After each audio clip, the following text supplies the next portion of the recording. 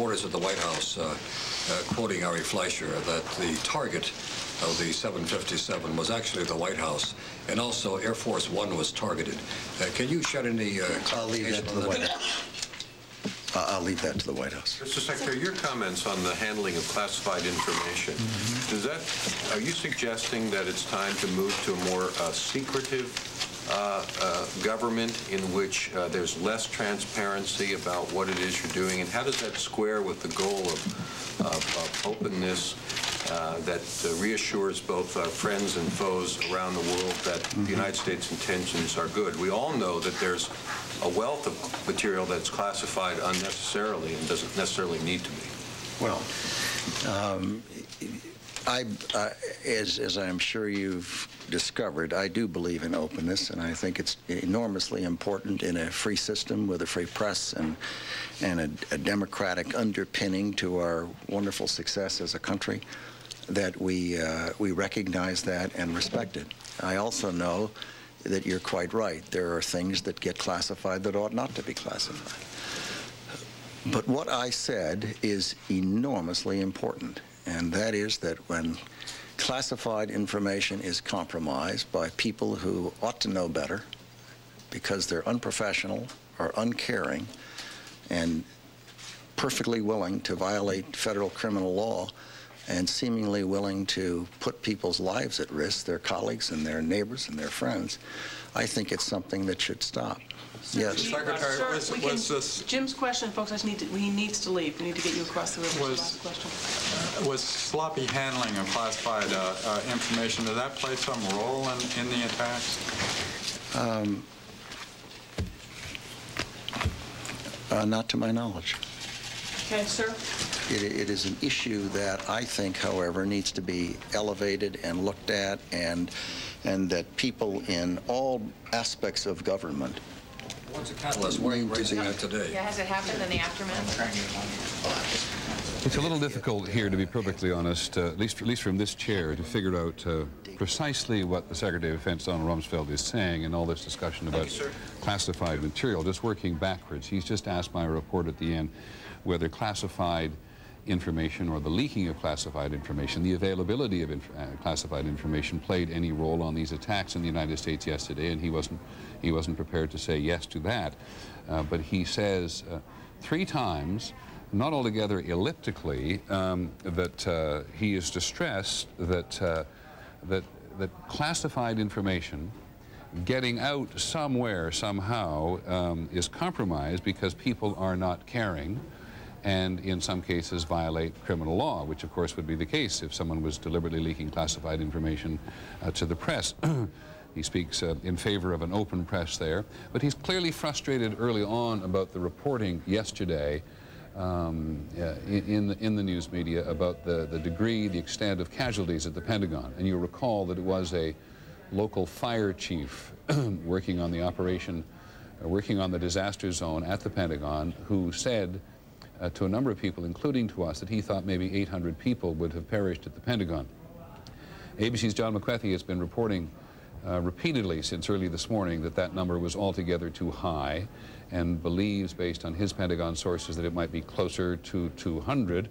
Um, it took Mr. Rumsfeld a couple of minutes there to figure out what he meant by too high. Was it the 800 or the 200? In fact, it was the 800 figure that was disturbing him, but he will not comment on whether the casualty figures are 100, 150, or 200. But 200 is an operative figure which sources at the Pentagon have been comfortable with at this stage, while saying all the time, I think everybody we've talked to um, in every regard in New York and the Pentagon have made the point that we simply do not know at the moment because it has been, under the circumstances, too difficult to get at precisely um, what the casualty figures are. And this is a far, far greater problem in New York than is at the Pentagon, which, if anything, is a control situation. The Pentagon is more of one than it is in New York City.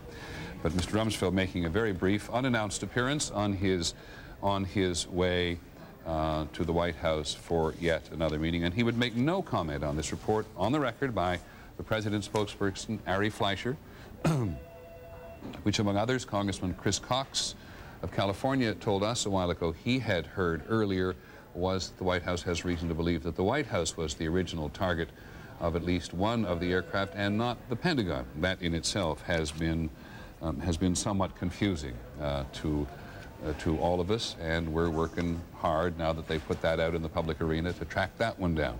We think I can now, Bob Miller, um, settle what's been going on in, John, sorry about that. That's Only- all right. I think we've you- been here so long, you'd Well, I was- recognize me sooner or later. only knowing you forever. Um, John, I think we can put Boston into greater context now. Yes, we can. Um, if you're, if you saw that, you remember that a paper trail from a car believed to have been used by the hijackers at Logan Airport took police and the FBI to a hotel in the center of uh, the city of Boston, the Westin Hotel in Copley Plaza. Uh, as they were going to enter two rooms rented by one individual, they literally bumped into three occupants of one of those rooms leaving. Uh, those people have been taken into custody. They are not charged with anything at this point. They are being detained and questioned by the FBI. Uh, but there was concern that there might be other people in the rooms. So a Boston PD SWAT team uh, did a tactical entry into the rooms, uh, found no people, but found a suitcase that a bomb-sniffing dog alerted on, as well as a wastebasket. The wastebasket uh, didn't have anything in it. They could see that uh, by looking, but uh, an x-ray of the suitcase uh, proved suspicious. The bomb squad was able to enter it uh, wearing protective gear. They found it did not contain explosives. What it did contain, according to our sources, uh, were papers and pamphlets. There was other luggage in the room that seemed to indicate that the rooms had been used by a number of people, more than the three people who were present. And they found something that's been very intriguing to FBI investigators, according to our sources. Uh, they found hair dye products and other things that could be used to change your appearance um, if you wanted to. So the FBI has taken over that uh, crime scene now, and the investigation continues. Peter? Thanks very much, John Miller. We're going to the Attorney General of the United States, John Ashcroft. This investigation and recovery is a highly coordinated effort. I want to thank all of the federal, state, local agencies that have worked tirelessly yesterday and today to help the victims of this act of war find relief and to help the United States of America locate the people who are responsible for these terrible acts of war. Immediately after the first report of a plane crashing into the World Trade Towers, numerous federal agencies coordinating with the White House mobilized their resources. Throughout the day, secure video conferences took place among the National Security Council, the Department of Justice, the Department of State, the Department of Defense, the Department of Treasury, FEMA, CIA, the FAA, and other federal agencies. Both the President and the Vice President presided over a number of cabinet and sub-cabinet meetings and video conferences. Continuity of government plans were put into effect. Within the Department of Justice, our full resources were put into operation immediately. As I will explain in greater detail in a few moments, these resources have been deployed both to investigate this act of war and to assist victim survivors and victim families. But let me stress that this is not simply a Department of Justice effort. The response of the federal government across the board has been, I believe, from the President of the United States to the rescue workers, magnificent. I'll now turn to the information that the response we have been making has developed. I'll give you the information that we can give you. However, we will give you only facts that we can confirm. You may be hearing things that we have not told you, but some people have the luxury of speculating. We won't speculate, but we'll only give you confirmed facts. And also, we must be careful to protect confidential intelligence sources and the methods of our intelligence so we do not compromise this ongoing investigation or the capacity of this nation to undertake such investigations as this. The four planes were hijacked by between three and six individuals per plane, using knives and box cutters, and in some cases, making bomb threats. Our government has credible evidence that the White House and Air Force One were targets. A number of the suspected hijackers were trained as pilots in the United States. The Department of Justice has undertaken perhaps the most massive and intensive investigation ever conducted in America. The full resources of the FBI, the Justice Department's Criminal Division, the U.S. Attorney's offices, the INS, and other components have been brought to bear and will be focused in this endeavor. Throughout the day and into the night last night, Deputy Attorney General Larry Thompson and Assistant Attorney General Michael Chertoff, who is not with us at this moment, and I were present at the FBI's Strategic Information and Operations Center, together, of course, with the director and a number of other individuals. The Justice Department is working closely with investigators, the FAA, and the intelligence community, including the CIA, the NSA, the Defense Intelligence Agency, and the Defense Department. Numerous agencies have assigned personnel to the SIOC at the FBI to coordinate investigative efforts so that information which is received on these premises becomes immediately available to the cooperating agencies. And uh, I might add that we reciprocate with similar uh, deployments in a variety of other settings. The Justice Department's Terrorism and Violent Crime Section is coordinating the response of the U.S. Attorney's offices nationwide. These agencies have a presence at the SIOC here in the FBI 24 hours a day and are coordinating efforts both in the United States and worldwide around the clock. Investigators are reviewing intelligence and have received numerous credible leads. Command posts have been established at all crime scenes. Evidence response teams and the FBI's disaster squad have been deployed to the crash sites. The recovery of bodies and the collection of evidence is ongoing at the Pentagon and at the crash site in Somerset County, Pennsylvania. Investigators are working with the National Transportation Safety Board to recover the black boxes from the crash sites. The crime scene at the WTC has been secured, but is not yet a crime scene accessible to investigators. The United States Attorney's Office's terrorism units and the FBI's Joint Terrorism Task Forces are obtaining the passenger manifests, rental car receipts, telephone logs, videotape from parking garages, and pay telephone uh, videotape records at all scenes for review and appropriate follow-up interviews. All investigative resources of the FBI's laboratory and crisis response capabilities have been mobilized. Now let me turn uh, this podium over to FBI Director Bob Mueller to talk more about the investigation itself.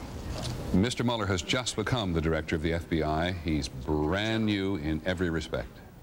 I want to start by uh, saying that the men and women of the FBI join the nation in expressing our deep sympathies for the victims of these horrific tragedies uh, and their families. And we, uh, all of us in the FBI, pledge to those directly affected by these attacks that we will leave no stone unturned in our quest to help find those responsible and to bring those individuals to justice.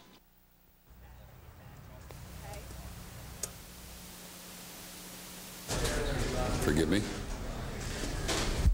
Well,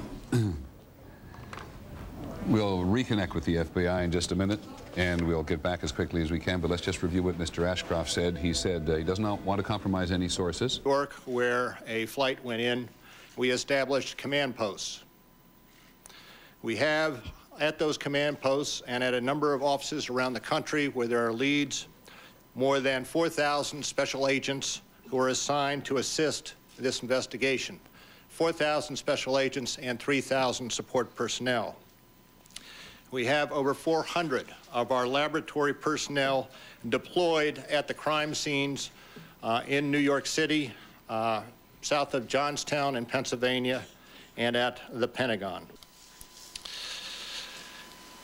In the last 24 hours, we have been addressing two objectives. The first objective is to determine, identify the hijackers on each of the plane, each of the planes. Having identified the hijackers on each of the planes, we then have sought to identify any of their associates remaining in the United States. Our first effort is to identify any associates in the United States who might be related to the hijackers and to remove those associates investigate and uh, arrest, given the evidence, those individuals and to remove any threat to the air system in the future. That is our first objective. The second objective is to gather any and all evidence we have as to whom assisted the hijackers, and not only in this country, but also uh, overseas.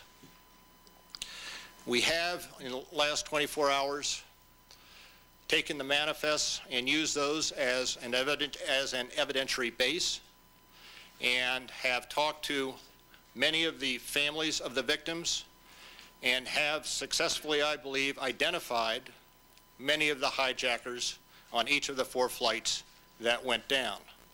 We also have identified through a number of leads principally at the cities of origin, a number of individuals whom we believe may have had something to do with the hijackings, and we are pursuing those leads aggressively. Let me conclude at this juncture by emphasizing again the FBI's total and unwavering commitment to this investigation. We will not stop, and as I said before, we will leave no stone unturned until we have determined who was responsible for these attacks on our freedom. Now, I would be happy to entertain questions, as I'm sure the Attorney General would. Director, have, have there been any arrests of any of these associates that you've identified in the uh, Now, I understand that, that there is reporting out there that the FBI has made arrests with regard to the hijacking. That is not accurate. Uh, there have been occasions where we have interviewed individuals and come to find that the individual is out of status and that individual uh, has been uh, detained on an immigration hold. But there have been no arrests relating to these hijackings at this point.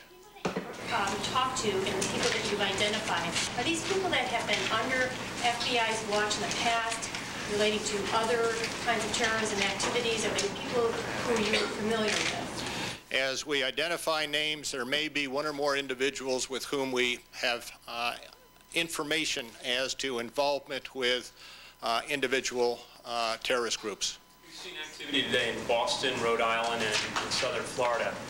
Can you walk us through, in any of these cases, and give us any guidance on why these particular individuals have been uh, uh, and what the FBI is doing?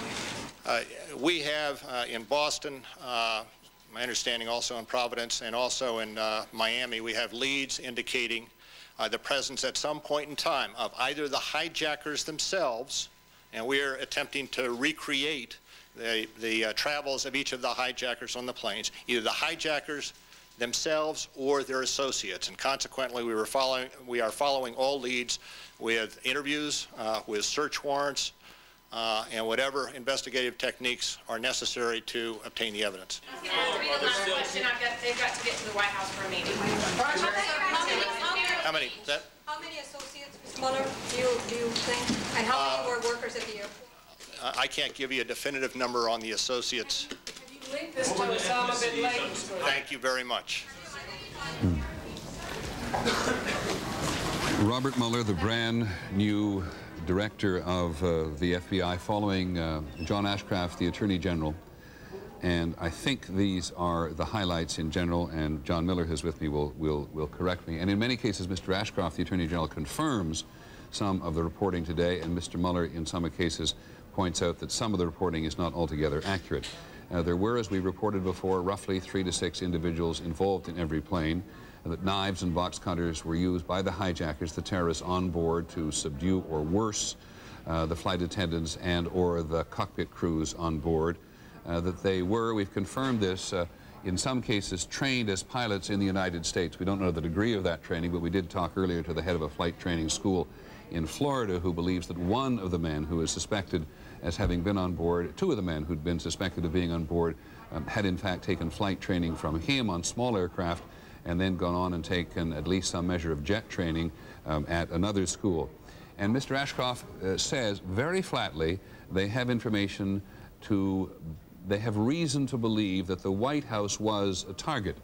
Now, that raises a question for us here, John Miller, because he doesn't say that the White House was a target and not the Pentagon, as has been reported by Mr. Fleischer, the president's spokesperson at the White House. What he, Mr. Fleischer said, Ari Fleischer, we have reason to believe that the plane that hit the Pentagon had as its original target the White House, and they also have reason to believe that Air Force One was a target. So that has yet to be. Attack on America, Action News coverage. Action continues. News local coverage continuing right now. We have a lot of local developments to talk about. The first thing is the FBI news conference going on. Going on right now in Somerset County, so let's get to it. I want to take some time to express our gratitude to representatives of the Salvation Army and the American Red Cross, as well as other organizations who provided us with uh, support here on site. As you can imagine, we're working long hours to try to address this uh, issue of the processing of the crime scene. Again, for information regarding attacks that occurred in New York and Washington, you can call 866 483 5137. If you have any information to provide to us, you can call the FBI Pittsburgh office at 412-471-2000 or go to ifccfbi.gov. At this point, I'd like to defer to the Lieutenant Colonel who will speak to uh, United Airlines. Uh, this morning, a number of you had inquired about United Airlines, and uh, the response from the United Airlines is that their their uh, communication through the media would be, or to the media would be from uh, Agent Corvington of the FBI. However, there are a couple numbers that I want to give you.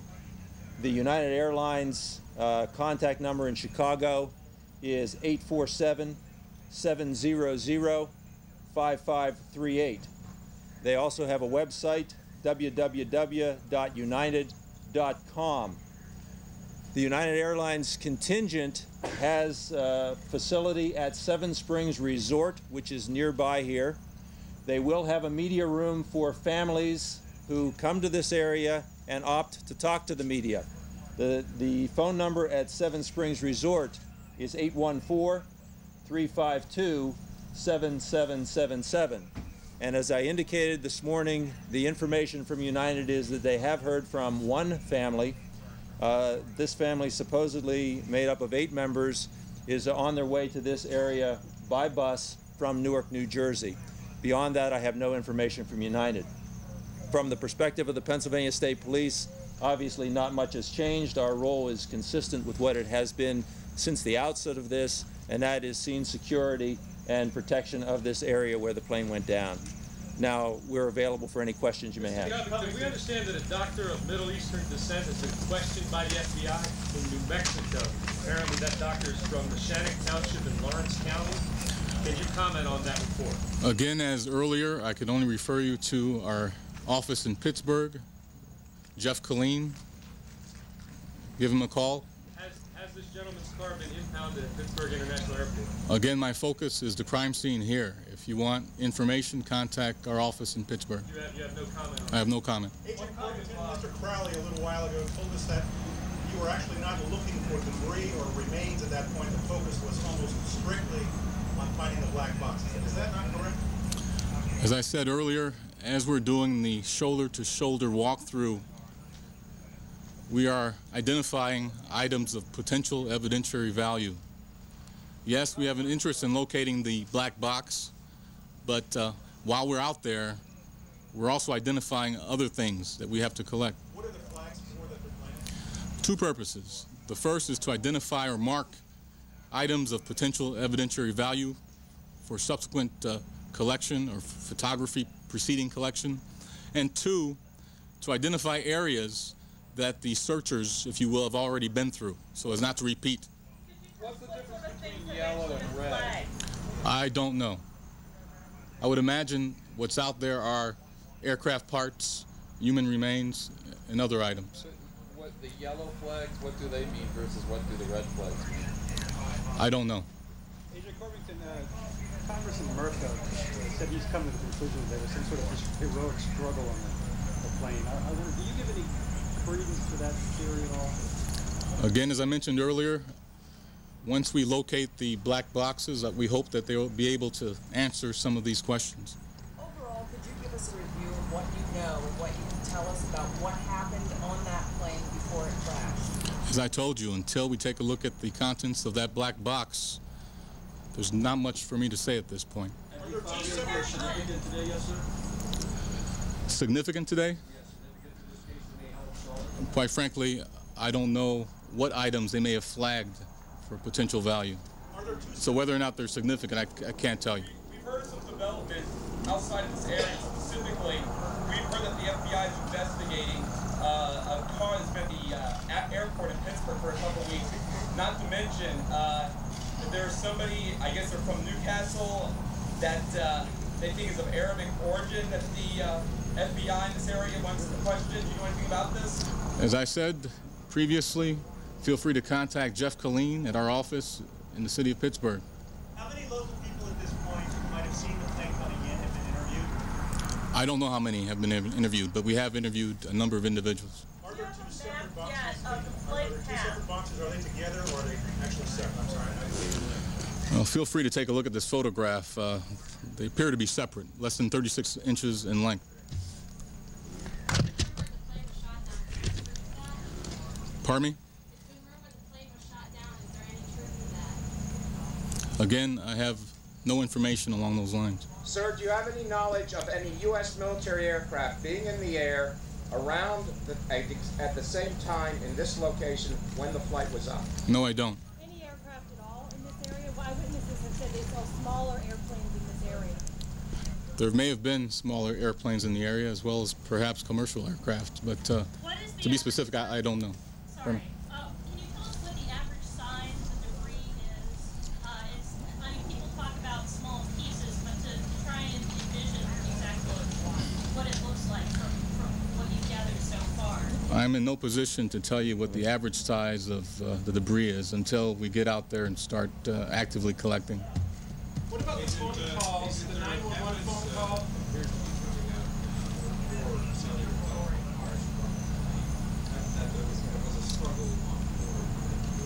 Again, I defer to Jeff Colleen at our office in Pittsburgh. What about the phone calls, the 911 phone call that uh, you had said that uh, you might know some more about what the contents of those phone calls were, the 911 or any of the other ones? Again, regarding any 911 phone calls, feel free to contact Jeff Colleen in our office. Discoveries, particularly a discovery in Neshannock Township, which is outside of New Castle in Lawrence County, something uh, very disturbing. Well, we can draw, you heard some kind of testy questioning about that, and obviously the agent there, Randall Corvington, didn't want to talk about it, but we can tell you what we, uh, what we do know about that. Obviously, and again, a lot of the questions there were about the kind of thing that would be rumors and flying around, but there are some things at the heart of some of these. and to talk about the situation in, uh, in New Castle. Here's what we know. We know that there was a car at Pittsburgh International Airport here Parked that about- had let been me see, they- left for two weeks, I think Yes, is what I think saying. September, I have the date here. It's September 2nd. It supposedly was parked there September 2nd. And the FBI did ask Allegheny County Police to impound that car, to take it in for examination. It's at the crime lab right now. That car may be connected to a Lawrence County man, a man who lives, at, you heard them say, Neshannock Township. Right. And so there's an investigation going on there as well at the Green Meadows apartment. The FBI is there, as are state police. They accompanied the FBI to that scene. Now, I heard them ask about uh, him, uh, that person being questioned or if that person is missing. We had heard from the people out there that he hadn't been seen for two weeks and that they are looking at some kind of package that was uh, there at that location in New Castle. It's being called suspicious, and that's all. We have a crew in New Castle, Yes. and we have, are checking on the situation at the airport as well. So hopefully, by the time we get to our 5 o'clock broadcast, we'll be able to draw together a lot of those threads. I, I think it's interesting, and we should uh, insert this here. Um, if anybody remembers the Gulf War, I mean, this has been called this has been called a declaration of war, an act of war, and and I, I think Donald Rumsfeld alluded to that in his news conference just a few minutes ago. Uh, there was a concern about efforts to report in the media that that that uh, sometimes information that's coming out and rumors may be compromising an investigation in their eyes. It was the same situation in the Gulf War, and I, I think that that that that that uh, is an indication of the seriousness that Washington has about all of this and wanting to keep, keep this battened down and not letting the media find out information that may alert Right. or, or, or, or distract the investigation. And even as the investigation goes on, a lot of people will be looked at. Many people will be questioned. Uh, as Donald Rumsfeld said, some people have been taken into to, for questioning, but they've not been arrested. One other thing that came out of that uh, news conference is, again, there has been no sign of the black box. Uh, there was a question earlier in the day, had they heard the beacon that we often hear about? no sign of the beacon. We do know, and we're going to be learning more about this this hour, and we'll have some information on it at 5, that they're going to be using robotic technology from Carnegie Mellon University to help them search for that black box out at the crash scene. So we hope to know more about that very shortly. Because this is the black box that they were hoping, since it's at an area that is easier to access than the Pentagon, and of course, uh, the two World Trade Center towers that crumbled. I, I believe we also have our link up of a video uh, out at the airport here now. As you know, the FAA had originally talked about resuming our flight schedules at noon today. Then, right at about noon, they said no, they were not going to do that, that they were going to uh, continue an indefinite uh, ban on flights. But they have Here's what we're understanding is that they've towed a couple of the planes that are there uh, into position, but we haven't seen any active uh, attempts to take off. Now, the, the flights that are being given permission to even fly today are not new flights. Right. The, the, they are they're flights that actually have been diverted to Right. airports. Yes. In other words, they're trying to put the system back in order rather than just say everybody take off and go to where you are going. So uh, it, it seems to be a step-by-step process that the FAA is engaging in. And what we're seeing here is just they're they're towing some of the planes. So, and there's sort of two things to understand about that, that there were dozens of flights that intended to land at East Coast airports yesterday, could not, came here as a place of safe harbor, oasis. Many of those people stayed in our hotels.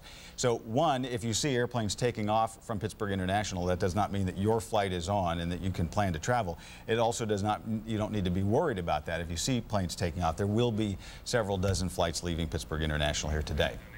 All right. Uh, in the meantime, Pittsburgh and Western Pennsylvania really are stepping up. Uh, we have called, or we have established a, a phone bank by the Salvation Army in order to allow you a place to uh, donate and, and to help out and, and, as I said, step up. Right now, so far, here's the number, by the way, 412-243-6000. Um, $18,000 has been donated thus far, and I think this effort started, what, about uh, noon, shortly before noon? Yeah, and, just in four hours, you, in just response to the occasional times we put this number up, and there go the phones again, have already contributed $18,000, and of course, every bit of that will go to help in the rescue and recovery efforts.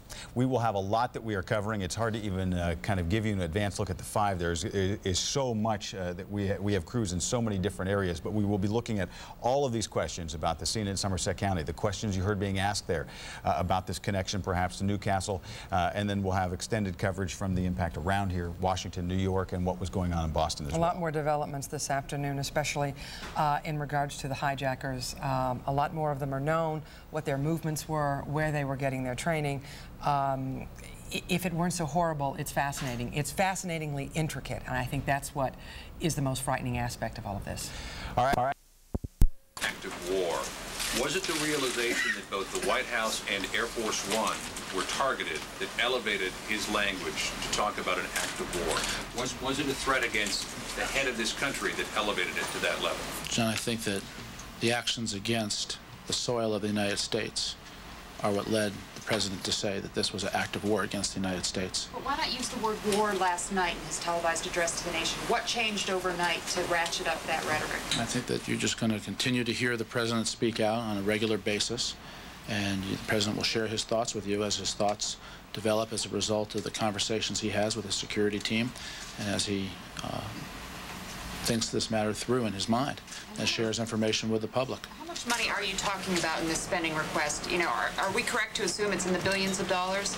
That's a correct assumption. Um, and again, once we have specific information, more specific than that, I will get it to you. But the president made it clear that this should not be an open-ended commitment. We'll we'll have, we'll have, as soon as the the information is better developed in our conversation with the Congress, I'm going to do my best to provide it to you in specificity.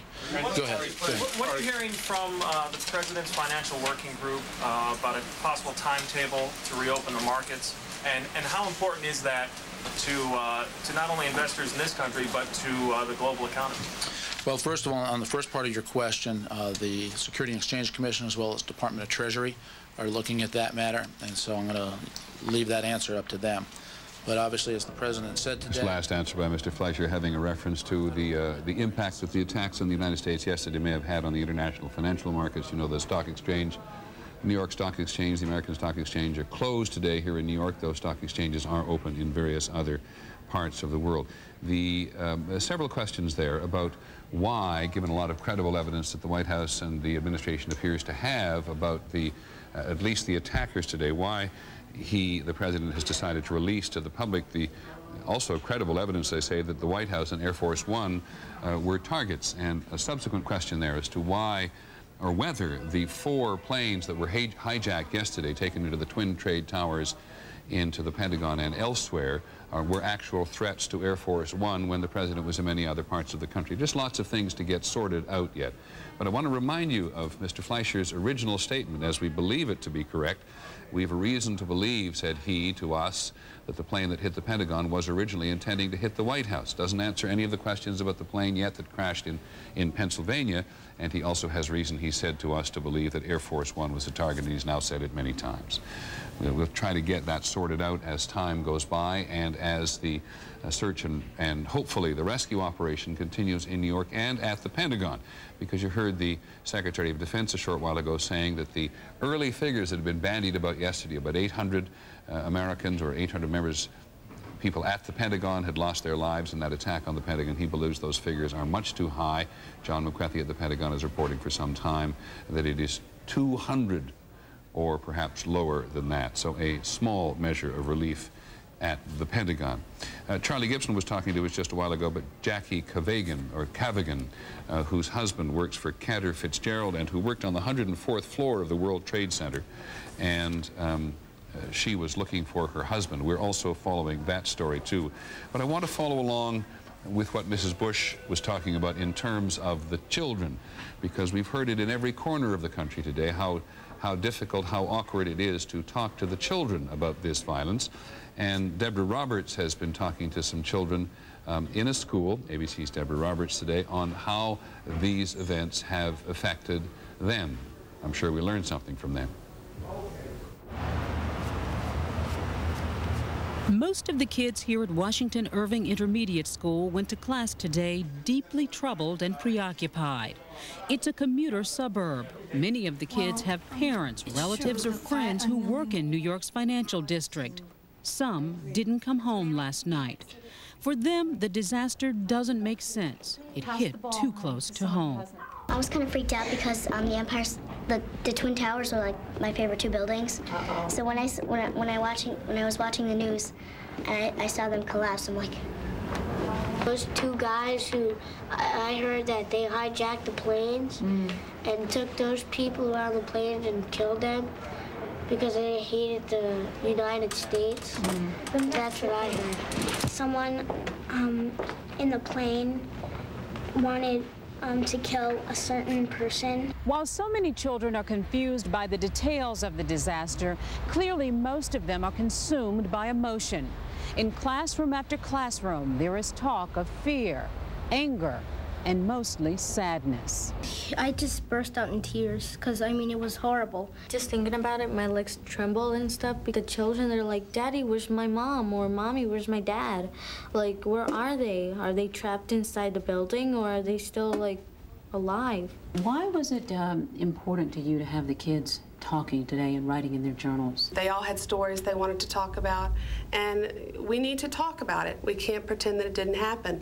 It's a jarring start to the first week of school. Children struggling to deal with a complex lesson in life. Well, we've, we've all said it so many times, it applies to adults as well as children. We need to talk about it, and it's particularly important, those of us who are parents know, to talk to our children and also to listen to our children.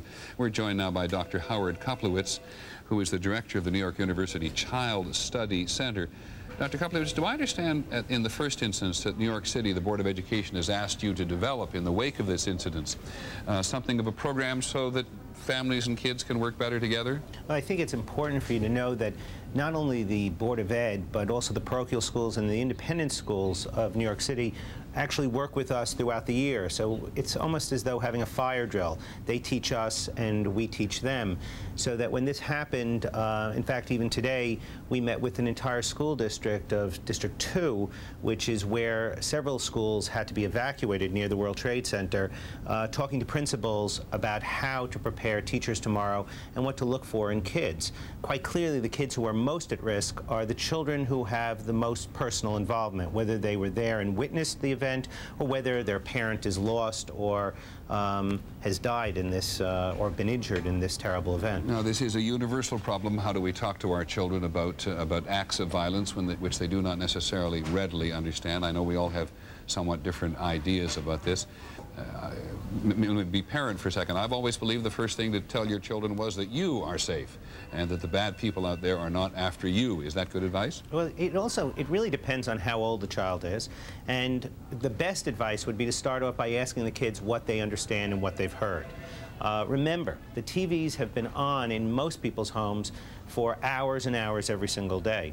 Um, this is an extraordinary, historic, and horrific event. So across the United States, all of a sudden, because it occurred in New York, it's part of our backyard. It's in our neighborhood. And so, number one, talk to your children if they're very young and find out what they know, and then explain about the good guys and the bad guys, and that we are going to find the bad guys. There's no ambiguity about this, and that we have a government that is taking action to make it safe. Because kids are most interested in what's happening to me. Who's going to pick me up at school tomorrow? Can we go on the plane to grandma's house for Christmas? And reassuring them is important. For older kids, though, and for kids under the age of five, I don't think they should be watching TV. Yeah, but what do you do about that? You've just made the point yourself. All across America, television sets are on all the time in homes all over the country. How, uh, do, you, do you do any harm by telling your kid you can't watch that? Yeah, I don't think it's any harm. I think it's a positive parenting kind of technique to say, you know what, you're going to watch in another room and you're going to watch a, uh, a, video on the VCR. Or I'm going to shut off okay. the television and I'll do it, you know, twice a day. In the morning I'll watch watch, and in the afternoon I'll watch, but it's adult images. It's very important to remember that a little child who sees a scene again and again of that plane going into the mm -hmm. World Trade Center doesn't understand that it's not happening again and again, that it's just one event, and it becomes more frightening. Kids don't like to see parents out of control. They don't like to see the adults in the world out of control. And if they're older children, if they're more than six years of age, and let's say six to 12, mm -hmm. parents should sit with them while they're watching. They should help them comprehend what's going on. And again, I would monitor how much time you're going to watch the news. I think you're doing a great job, but I think there's a limit to how much a family with young children should be watching this program. I think uh, you quite agree. I agree with you on this. You certainly got to ration television under all circumstances, certainly under these circumstances. Um, let me just try a couple of uh, academic questions with you. I'll, I'll, try to play a child here, 5 to 12. You, you, you pick a figure. Um, why is it happening, Dad or Mom? Right. I, I think that, again, being able to talk in a, in a in language that children understand and to explain, by the way, that you're frightened also, but that there are people who are who are bad, who dislike us or hate us without really knowing us, and have taken an action against us that is really horrific. It's absolutely horrible. And we weren't, we weren't prepared. We didn't know that something like this could happen. And now the government is going to become more, uh, first of all, they're getting very good at trying to find these people. As we heard from the Attorney General and from others in charge, they're going after the bad guys. But also, they're going to make the airplane safer. Mm. We're going to see that the next time we go on an airplane. And the important part is, in your life, we're going to keep it very safe. Your school is safe. I'm going to make sure that when you go to school, I'm going to be around, and you're going to reassure them. You should also be aware that even when you talk to kids like this, the conversation isn't a one-shot deal. This is a kind of conversation that, depending on your child, who might not be that talkative, you might have to bring it up again later on. Or they may not want to talk about it, they might want to draw a picture, or they might want to write a poem about it. Not everyone behaves the way we'd like them to behave when it comes to talking about difficult topics. But parents have to bring this up. This is not one of those topics where if you don't say anything, your kid isn't thinking about it. He's just hearing from you that you're nervous about talking about this uh, I- difficult I- topic. I would also guess that this is one of those moments when you can teach your kids some good lessons about prejudice, given the fact that we are all talking about people from a particular part of the world may have done this. I, think Mayor Giuliani hit the nail on the head when he was talking about that because that's a very important message for all children, but particularly for teenagers, that it's really time to start talking about tolerance. It may not be a time where we don't feel hateful right now and angry, and particularly when we see scenes of Palestinians dancing in the street, but those people don't really know us, and that's what we're supposed to tell our kids and explain to them the fact that they may hate us and not know us doesn't give us the right, and it certainly isn't smart for us to hate them back. That this whole thing started because of an insane hatred, and that's important. The other important part is to help kids do something. And you know, kids want to volunteer. You know, you find that pre-adolescents and teenagers want to do this. Unfortunately, there's nothing for them to do. The Red Cross has got things under control, and you find that you know, there's no. This is not the kind of war where you're going to make bandages. And so, helping children feel about m- memorializing this and saying it's important is good. My 13-year-old made a friendship bracelet for me, and his friends have started to do this. Mm. It's red, white, and blue, and they're saying it's to remember the people who've gotten hurt, but to also announce that New York is a strong place. And they're going to start sending these bracelets like a yellow ribbon to the mayor and tell him he's doing a good job, or to the president. That kind of doing something, a bake sale where you raise money, whether it's for the children or the families who have lost uh, Right. their father, that's important also. Taking a proactive approach. You certainly sound like an advocate of it. Thank you very much, Dr. Harvey Koplewicz from the NYU Child Studies. It'd be interesting to tell you on this question of, uh, Dr. Howard, uh, uh, on this question of people seeing people dancing in the streets. I've had several emails in the last several hours uh, from the Middle East saying that for every Palestinian dancing in the street, there are others who want to hold a vigil outside the American consulate in East Jerusalem to identify with the United States. And so I quite agree. It's a, it's a moment when prejudices get started or get enhanced, and it's not the time for it. You're right. Thanks very much, Dr. Howard Koplewicz from the New York University Child Study Center. Let us now turn back to the investigation itself. It's about 4.30 uh, in the east, 1.30 in the west, um, and uh, we're on the second day of a relentless investigation as to who was involved in and responsible for these attacks on the United States, and the even more, the even more important in the immediate sense, relentless search to see whether or not people can be saved uh, who are somewhere beneath the rubble of the twin trade towers in New York City. Um, and it does appear that, that much of the investigation in that regard has been completed at the Pentagon, but we're not 100% sure of that. I want to go back uh, to Miami now because the FBI has been at, at real at work in Miami today. ABC's Jeffrey Kofman is there. Jeffrey, you listened to the Attorney General and the Director of the FBI talking about the investigations there. What do you know on the ground? Well, Peter, what we know is that the investigations down here are happening in a number of locations. Here in Miami, across on the Gulf side, in, in Venice, Florida, and, and up north in Vero Beach, uh, south of Daytona Beach. What we can tell you is uh, on the scanners, our, our affiliate, our colleagues at WPLG, the Miami affiliate, picked up a bolo, which is a be on the lookout alert to, to local police for a man named Amer Kamfar, also known as Amer Taib Kamfar. The description is a 41-year-old man, 5 feet 9 inches, black hair, brown eyes, stocky build, They give that he was driving a 1996 silver Plymouth Voyager. But Peter, listen to this. They, this is issued by the FBI Terrorism Task Force. They say use extreme caution. This man is armed with an AK-47.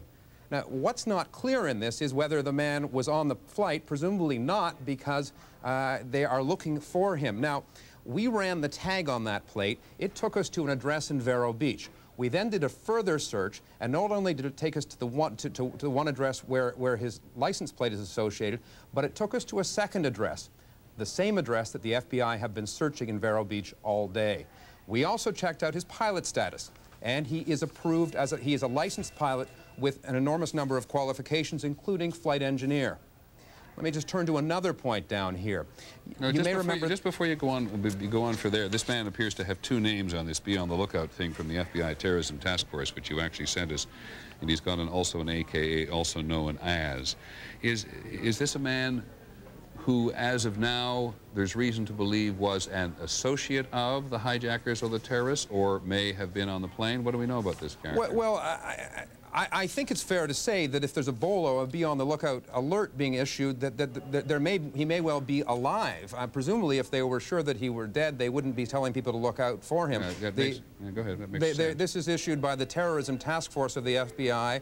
They are saying he is extremely dangerous, use mm -hmm. extreme caution, and they believe, as I've noted, that he may be carrying an AK-47. And, and you believe this was issued today? Well, we certainly heard it on the scanners today. That's correct. And, and, all right. Okay, go next event. Well, next event, earlier in the day we were talking, and I know you've talked to the people in, in, uh, in uh, Venice, Florida, where uh, a man named Mohammed Atta uh, was, took some flight training at a local flying school, Huffman Aviation. I believe you spoke with the proprietor there one of the questions that came up there, and, and you asked the proprietor, was, was would this qualify him to fly a 757 or 767? And that's just a small uh, local flying school where you learn to fly a four-passenger plane. The answer is no. But if you look, you don't have to go far, Peter, to find where you can get certification. Here in Miami, for example, there's a, an organization called Flight Safety Boeing that teaches people how to fly commercial aircraft. Just look on the internet and you can find that there's an 18-day course that will certify you to fly a 757. Okay, thanks very much, Jeffrey Kofman in Miami. With those two developments, the be on the lookout from the FBI a terrorism task force, which we're not altogether certain was issued today, but, uh, but, but we think it was. And Jeffrey Kofman uh, reaffirming that there are places in Florida where you can learn a small, small aircraft and also a bigger one, as they told us down there earlier today. So, um, go back to this search for the families of, uh, for the employees of Cantor Fitzgerald who worked uh, very high up in the World Trade Center. We were talking to the woman who couldn't find her husband. Uh, Connie Chung has actually been following this story in terms of the company as a whole for much of the day, and here is her report. I swear on my mother and father, soul, I will take them out right. After an anxious vigil for much of the night at this makeshift command center near St. Vincent's Hospital, two miles from the World Trade Towers, many families share a common bond.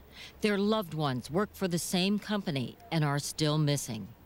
My son is Lloyd Rosenberg. He worked for Cantor Fitzgerald in one uh, Tower 1 on the 102nd floor. And I'm begging the people that would know anything, please get in touch with me. Cantor Fitzgerald, one of the world's largest bond dealers, had nearly 1,000 workers on the top floors of the North Tower, inside the killing zone. My brother was an employee of Cantor. His wife received a call from him this morning that he heard a bang, and then there was smoke all over, and then they got disconnected. Robert Sliwak, 42, was a broker at the company. His family hasn't heard from him since. He said something about evacuation, so the family thought he was more or less in the process of evacuating, and that was very early in the morning. But um, as you know, I'm here now, and we haven't heard anything from him at all. So um, we're just hoping and praying. I told them I'd come down and find my brother for her and my parents. Hat Sliwak felt certain her brother would be found alive. After all, he was a survivor. But what's so horrible is he had cancer and he just passed the five-year mark and this had to happen. Anyway, we're hoping that as lucky as was with that, he could be this lucky too. We, we just have in our head that he's unconscious. His, his ID is down in smoke right now, I guess, right? And that um, he's somewhere in a hospital unconscious or on uh, Liberty Island. I mean, I refuse at this point to give up. Here's my son with my little granddaughter. Michelle Rosenberg spoke with her son, Lloyd, 31, shortly before the blast. He was eating breakfast at work. They made plans for lunch later in the week. And he said, bye, Ma, I have to go now. And that was it. There's no words to describe it. I, it's just like I'm not living. Like I, I died, and this is just a very bad dream. That's all I could say, and I'm just pleading with people out there. If anyone knows, please call us. These families, linked by a company, are now forever connected by tragedy and dwindling hope. You think you may have a shot, but as time goes on, as optimistic as I want to be, it's harder to stay that way the employees and the families of Cantor Fitzgerald, and there is the scene. You can just see the smoke continues to come up from the particular, the very specific area of the Trade Center. That open area you're looking at over by the Hudson River on the lower side of Manhattan is, of course, the staging area where large, large amounts of material from the federal government, the various state governments, the city have all been gathered so they can go and work on this one site.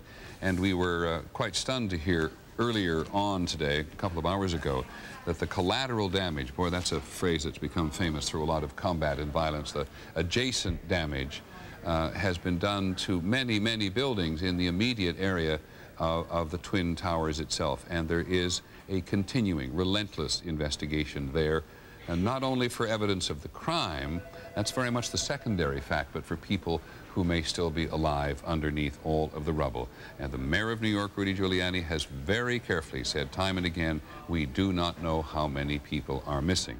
But that is the story from, from, uh, from Connie Chung about the employees of Cantor Fitzgerald, a story that is repeated over and over and over again, given all of the companies that had their offices in the Twin Trade Towers, and for that matter, all of the people, the more than 260 people who died on the four aircraft. And Barbara Walters is here to move that story forward. Barbara. Well, Ted, uh, Ted, I'm sorry, I was just about to talk about Ted Olson, who is the Solicitor General and who uh, lost his wife, they were married for five years, on that plane that crashed into the Pentagon. What I have been doing much of the day is to speak to families of people who were on the planes.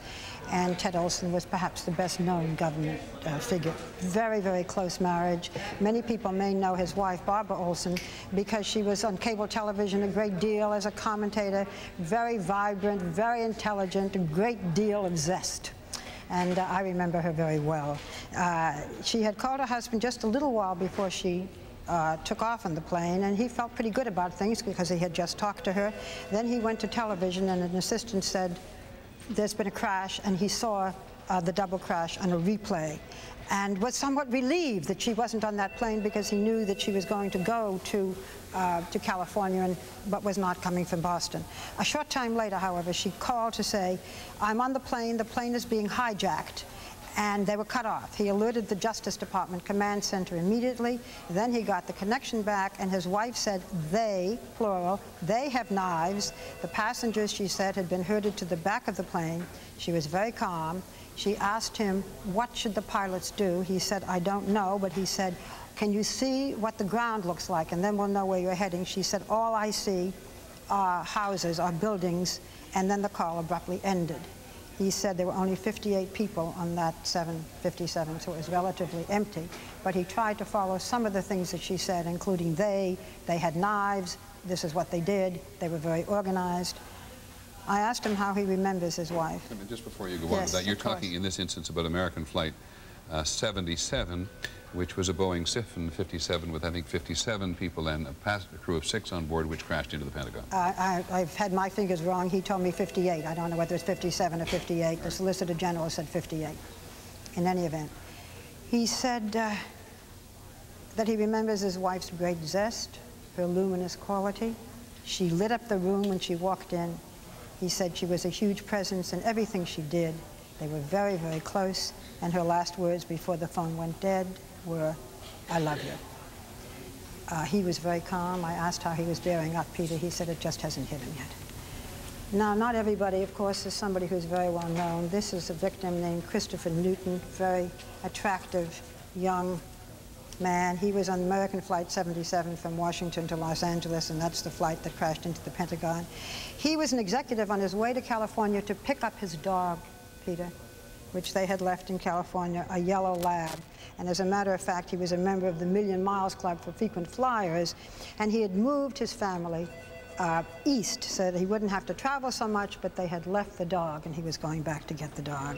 He survived by his parents, a wife, and two children, Michael, age 10, and Sarah, 7. He was a Little League coach and a Cub Scout leader. Here you are, just, I just, just take that picture out of Yes, your hand so people can have a look at it. Right. Okay. Peter, take this one as well, if you'll be kind enough. This is Al Marchand. He is married with a son, was married with a son and two step stepsons. And he recently ended up making a life change, and it cost him his life. He'd been a police officer and a fireman for 17 years before he decided, as he put it, to join the friendly skies and become a flight attendant. He was 44. He was working on United Airlines Flight uh, 175 from Boston to Los Angeles uh, when it crashed into the World Trade Center. And his fellow officers have talked about him.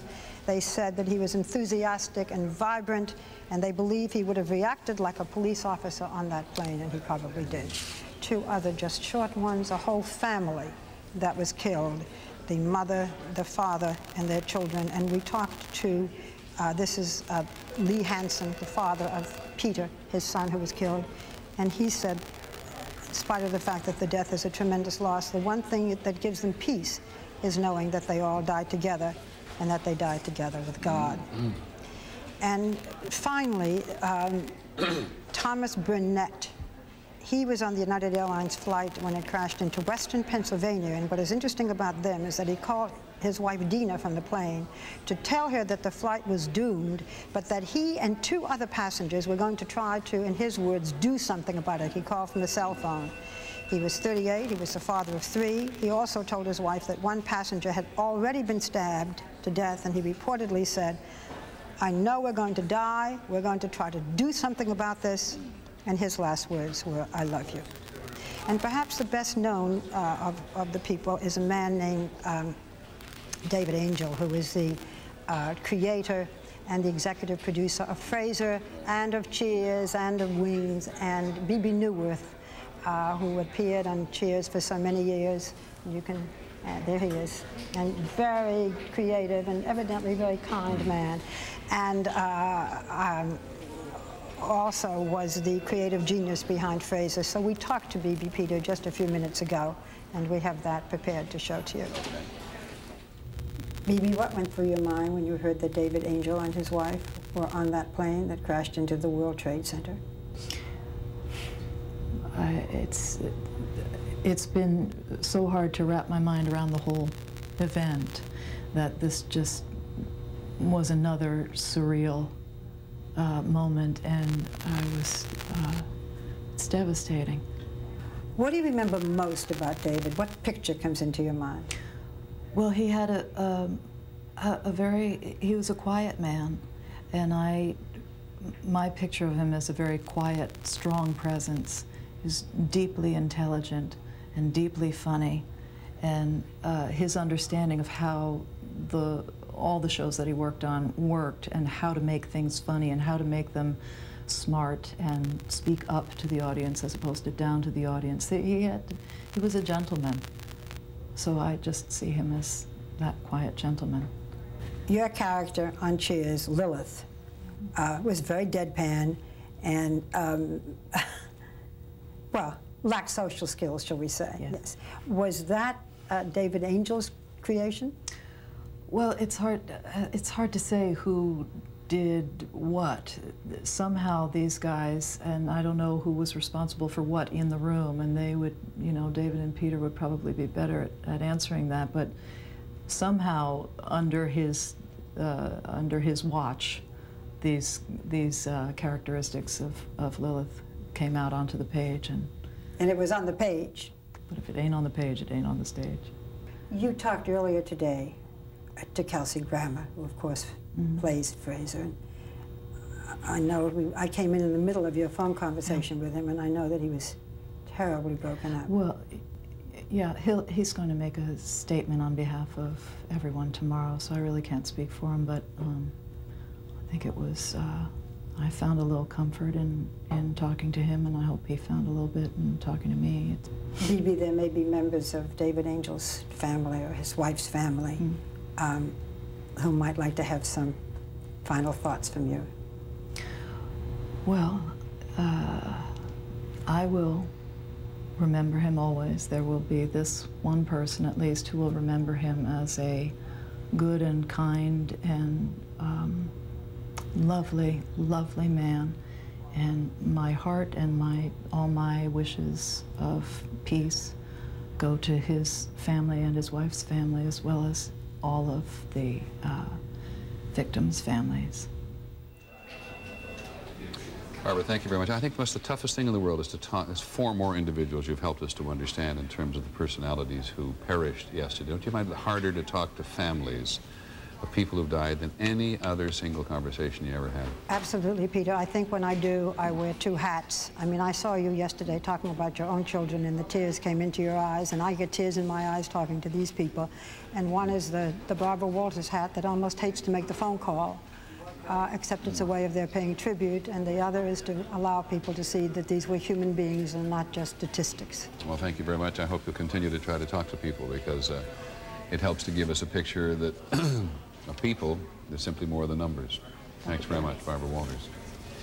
Uh, we're waiting at the moment for the Secretary of Transportation, Norm Mineta, to come and brief. In fact, we've been given, I think, a two-minute warning, which doesn't mean anything in this, in, in, on this particular day, and we all understand that. Two-minute warning to say they're going to start a briefing.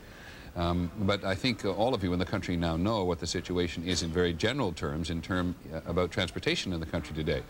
Uh, because aircrafts and airports all over the country are frozen. Uh, they're frozen by a long list of new demands or new requirements the Federal Aviation Administration wants to put in place, in part under the pressure of the airlines themselves for security, which means it's going to be a good deal more difficult for passengers, I think, in the long, in the short run as well, if not the long run, uh, to travel. But I think there are vast numbers of people, not just in terms of the immediate personal travel or business travel, but in terms of shipping things across the country. How will people get home from places where they have been stranded for much of the last 24 hours? It is Mr. Mineta, the Secretary of Transportation, who is supposed to be able to answer all of those questions. And he's going to appear in Washington. He's been part, clearly, of all these briefings the President has had today. And, and in the remote chance that you, have, not in the remote chance, but in the chance that you've just joined us, we've heard from the White House, we've heard from the State Department, we've heard from the FBI, and now from the Secretary As of the uh, Transportation. President said last night, these despicable terrorist attacks have shaken the foundation of our greatest buildings, but they have not shaken the foundation of this great nation. And I hope that we will all heed the President's call to keep the victims and their families in our prayers. Now, effective immediately, I have directed the Federal Aviation Administration to reopen on a limited basis the nation's commercial airspace to allow flights and passengers who were diverted yesterday to be able to continue on to their original destinations. Only passengers on the original flights will be allowed to reboard under strict uh, security and only after airports and airlines have implemented strict screening measures. Now, airlines will also be allowed to reposition empty aircraft in preparation for the resumption of regularly scheduled airline service.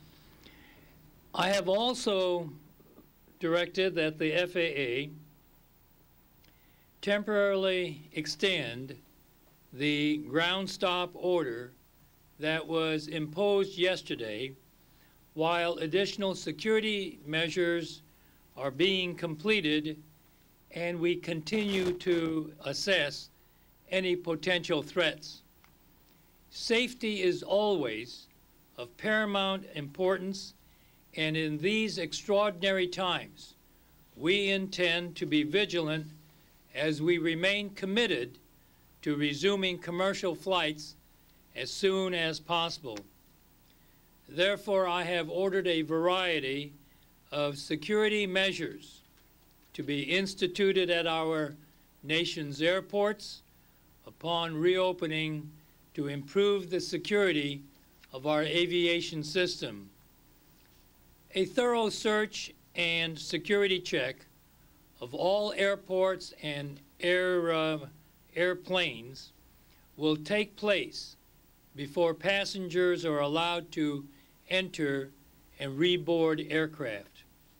We will discontinue curbside check-in at the airport and passengers will be required to go to the ticket counters to check in. We will also discontinue off-airport check-in. We can no longer allow passengers to check in for their flights at hotels or other venues. Passengers must check in at the airports. We must reserve boarding areas for passengers only. Only ticketed passengers will be allowed to proceed past airport screeners to catch their flights. And all vehicles near airport terminals will be monitored more closely. I know that all Americans want us to move as quickly and prudently as possible to return our national airspace system to normal. And we will, as soon as we can do so safely. In addition, I have the following announcements to make concerning other major transportation modes and venues. Major railroads are reporting normal uh, operations and minimum delays. Amtrak is operating on a normal schedule and has returned normal operations in the Northeast Corridor. Many bridges connecting Manhattan and New York City remain closed, open only one way, or with limited access. New York City Transit is 95% operational with the exception of the traffic around the World Trade Center site. Washington, D.C.'s Metro Rail system is operating on a regular schedule. Greyhound bus service has returned to normal operations. The Port Authority of New York and New Jersey, in terms of their terminal operations, remains closed. Our biggest concern is for the victims of yesterday's terrorist attacks. I would also like to commend our Department of Transportation employees who have shown, shown an outpouring of support. Hundreds of our employees have asked what they can do in the wake of this catastrophe, whether donating blood or supporting rescue efforts.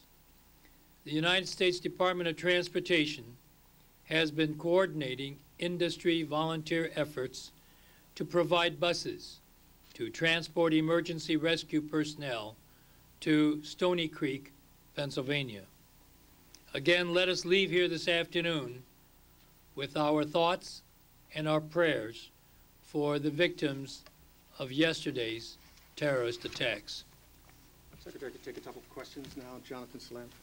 Both the General Accounting Office and the Office of Inspector General said that part of the problem with security airports are the low-paid, high-turnover screeners. What's being done to improve the screening of passengers before they board the planes? Well, we started this process actually uh, earlier this spring uh, by coming out with a rulemaking to allow the Department of Transportation to have the increased uh, powers or authority to do to require uh, not only in terms of uh, requirements, but the monitoring of the screening uh, people at airports. And so, as part of that process, we are looking at the whole issue of how to improve uh, the uh, ability to screen passengers as they come into the airport. As I said, one of the things that we're going to say is that no passengers are going to be allowed beyond that point.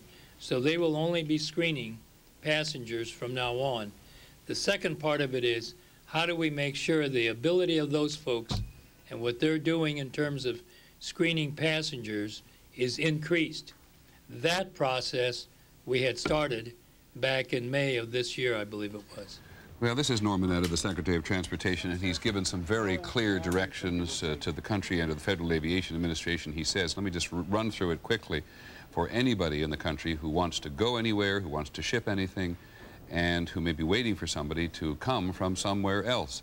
Uh, the, you cannot underestimate, with 40,000 flights uh, back and forth across the United States uh, every day, how important to the national uh, well-being, to the national commerce this actually is. Mr. Mineta has, has told the FAA that he's going to open, reopen, on a limited basis only, the national airspace. And he's only going to do so at the outset so that diverted flights, those many flights which were diverted uh, under the immediate order of the FAA yesterday, can continue, and only original passengers who were on those flights will be allowed to board those aircraft to go on to their destinations and they will have to be screened very strictly for security. This will also give the airlines an opportunity, Mr. Mineta says, to reposition some of their empty aircraft so that in stages the national airline system can begin to approach something like normality and it's clear to everybody who's paid attention to this that it's going to take some days. Um, he is going to continue to extend, he's going to temporarily extend the ground stop order. And that, we think, means applying to all other flights at the moment so that he can assess the threats uh, to the national system, individual airports, individual aircraft, and that is going to take some time. And he's going to change some um, procedures and some modalities at the various airports around the country. Um, uh, search and security checks of all planes before passengers can board. No curbside check-in anymore. You won't be able to check your bag at a hotel if you're going to go to the airport. Uh, passengers will be allowed in the boarding area only. Railroads are running normally. Amtrak is back to normal. The bridges to New York are still closed. New York Transit is 95% operational, and Greyhound is working normally, and the Port Authority in New York, as we all know, is still closed.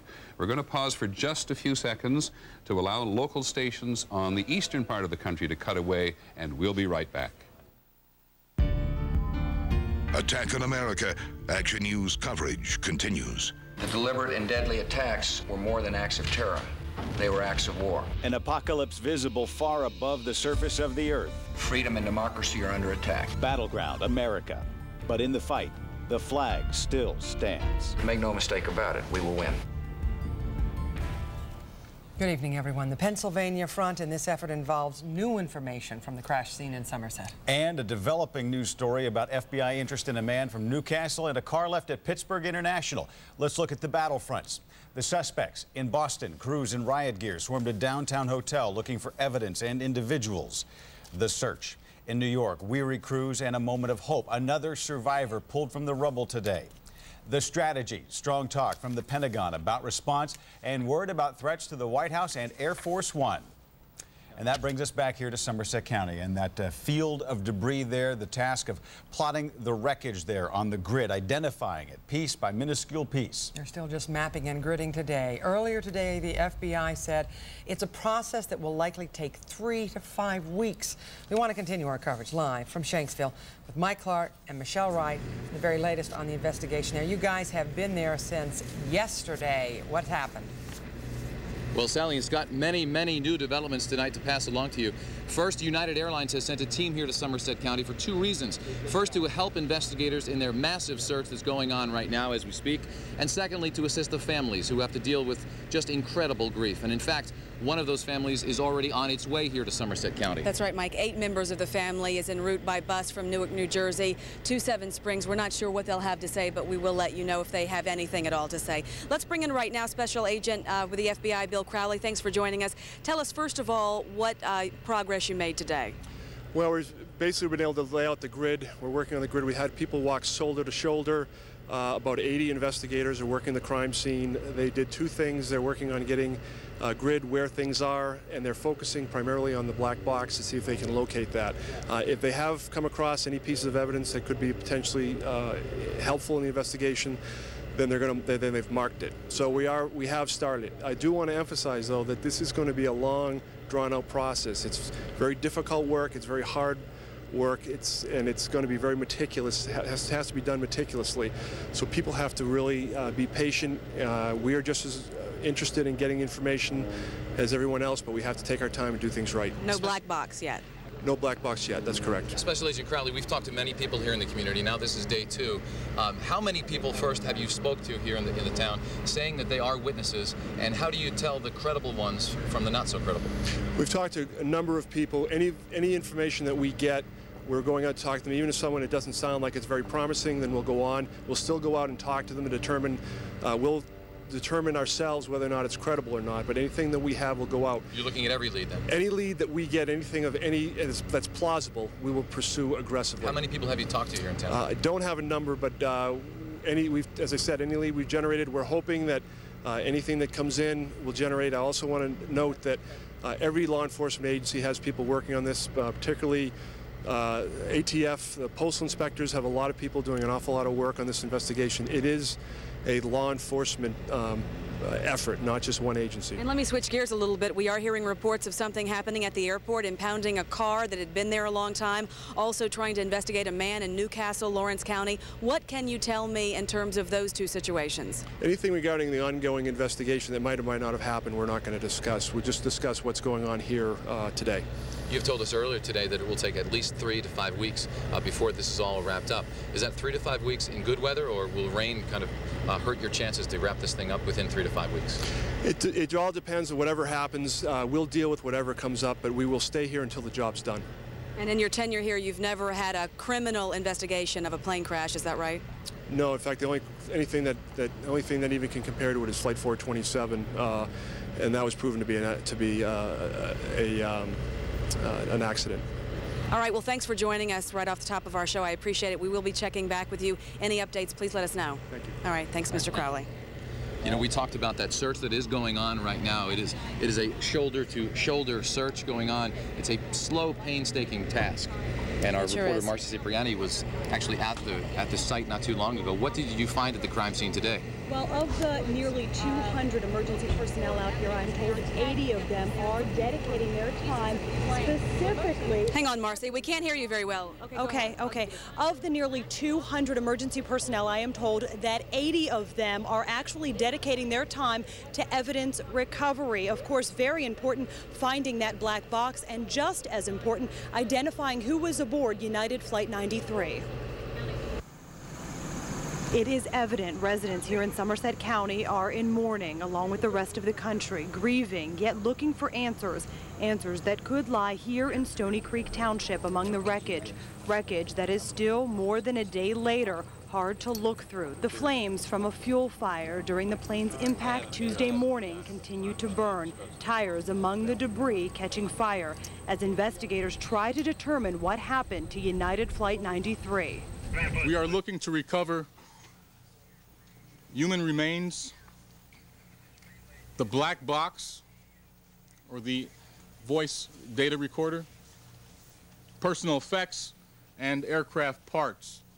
And that evidence recovery has begun here today. You can see behind me FBI as well as hazardous material teams looking through that wreckage. I am told they are not only here at the initial point of impact, but they are also in the woods. They say this is a long, painstaking process because everything they find is in very small pieces. The largest item that uh, that I'm aware of is uh, what appears to be uh, the remains of an engine. is a fairly large item that uh, has been identified back there. But discovery will take time. The protected crash site, according to police, is at least three miles long. Six teams are now using the daylight hours to flag evidence, photograph, and identify victims, as well as find clues. The big question, what happened aboard Flight 93 just before impact? Where was it headed? And whether or not this crash was related to the attacks on New York City. Answers investigators say will mainly come from one place. The uh, value of the black box or the information contained therein cannot be overstated. I mean, it's, it's invaluable. I am told recovery of that black box is especially difficult because that beacon we hear so much about, the noise the black box emits, the FBI tells me it does not work in a situation like this. It actually only sounds when an airplane is submerged in water, so that makes it a little bit more difficult for them to recover. However, they do say that, that they should be able to recover it and get a little more information on what happened. Wow. All right, Marcy, thank you. But there is some good news, too, coming out of Pittsburgh on recovery of the black box. Apparently, the search for the elusive black box is getting some help from a local college, Mike. We were talking about this earlier. CMU is allowing authorities to use their robotic helicopter. It's the 14-foot device, and it flies by computer. It creates a 3D color image of the terrain, which would be very helpful here. The CMU chopper has also been used to map craters in the Arctic. Again, the black box is key, everyone says, to finding out exactly what happened, and hopefully this robot that CMU has could help them. That's right. We are learning also more tonight, Michelle, about the apparent heroes that were on board Flight 93. The heroes were passengers. The new information coming from emotional cell phone calls made just minutes before the 757 plummeted to its doom. Flight attendant CeeCee Lyles from Florida called her husband, telling him how much she loved him and their four boys. Her husband heard screaming in the background, and she was crying when she said, We've been hijacked. Then the phone went dead. Another passenger, 38-year-old Thomas Burnett, called his wife to say he feared the flight was doomed, that we're all going to die, he said. But he and two others planned to do something about it. He said, I love you, honey. Then the call ended. Finally, there's the call made by 31-year-old passenger Mark Bingham to his mother in California. He told her, I love you very much. I'm calling you from the plane. We've been taken over. There are three men that say they have a bomb. Those are the last words spoken. He said, I want to let you know that I love you. I told him that we all love him. He said that he was on United Flight 93 from Newark to San Francisco and that there were three guys who had taken over the aircraft and they say they have a bomb. I asked him, who are these people? and he seemed distracted, didn't hear the question, didn't answer. Uh, then he came back on, said, it's true, uh, and I said, I believe you. I told him I love him, uh, and then it went dead. The FBI here in Somerset County will not officially talk about any cell phone call they have uh, any information on they believe those cell phone calls are the key to the investigation. That's right. What I want to do right now, Mike, is bring in our Team 4 investigative reporter, Paul Van Osdol, and you had some very interesting uh, information today. Yeah, Michelle, Mike, you know, a lot of the debris that resulted from this crash, most of it ended up right around the, the perimeter of the cra crash site, within maybe 100 yards or so, but much of it, believe it or not, ended up as far as a mile and a half or two miles away. Some of it on the shoreline of a nearby lake that's quite popular as a vacation spot for Pittsburghers A beautiful vacation retreat, Indian Lake is turning up gruesome reminders of Flight 93. Charred pieces of the plane, mutual fund statements and other paperwork, even what appears to be a bone fragment. Jim Brandt owns the Indian Lake Marina. There was debris flying everywhere. We found paperwork laying everywhere around here. Lots of papers and... Yeah, mostly uh, stock portfolio stuff. The plane crashed on the other side of the lake in the woods on the hilltop, and it wasn't long after that before folks started seeing debris here in the water. This morning, much of that debris washed ashore, and the reason for that, the prevailing winds blow into the shoreline here. Some debris was deposited in people's yards more than a mile from the crash site. Helene Pavlisak and Dottie Hughes put some of it in a bag. It looks like it may be pieces of luggage, maybe pieces of the seats. There's some paperwork in here. It looks like a bank statement. Police sealed off the Pavlisak's yard after some debris ended up there. I said, could this possibly be from the airplane due to the fact that this wasn't here prior to and it can't have fallen off a trash truck and they said yes it is. Do not touch it. After talking with us the women took the bag of debris to state police who are turning it over to crash investigators the FBI has been telling people, homeowners, and anybody else who has come in contact with debris from the trash, from, from the wreck, not to touch it. They're, they're actually told some people it might be a biohazard, which is uh, why they're telling people not to touch it. Also, uh, even though obviously the primary concern is locating the so-called black box, FBI officials do say they might be able to derive some evidentiary value from some of this debris, even that some debris that's located as much as a mile or two away because of where in fact it's located. So Mike and Michelle, that's going to be what they're going to be doing over the next couple of days is marking where this debris is and then trying to determine what use it might have as an evidentiary uh, material. Paul, Team 4 has been investigating this case since we got word uh, the plane went down in Somerset County yesterday. I understand you uncovered new information tonight. You'll have that at 5.30. We sure will, Mike. We have some new information about what was found and what was seen at the crash site within five or 10 minutes of the plane disappearing into the ground. All right, Paul Van Osdol, thank you very much. We okay. will see you at 5.30. Okay. And Scott and Sally, we're going to throw it back to you. We'll see you in a little while. All right, guys, a lot to cover. In fact, uh, the, the, the factor, there were so many bad images, but there is so much content to get through in this newscast. One of the things we want to update, uh, you heard Michelle Wright ask Agent Crowley about their interest in a car found at Pittsburgh International and also a man from New Castle. Our Shannon Perrine is in New Castle, and we're going to be getting more from her probably in the next eight or nine minutes, so we wanted you to stay tuned for that. One of the things, as we've looked at all of the horror of what's happened, we have a story of hope out of this technology in the, in the rubble there where we had so much death. A much happier outcome, and it has made a Munhall native into something of a hero here. Sam Merrill has the story of the roundabout rescue.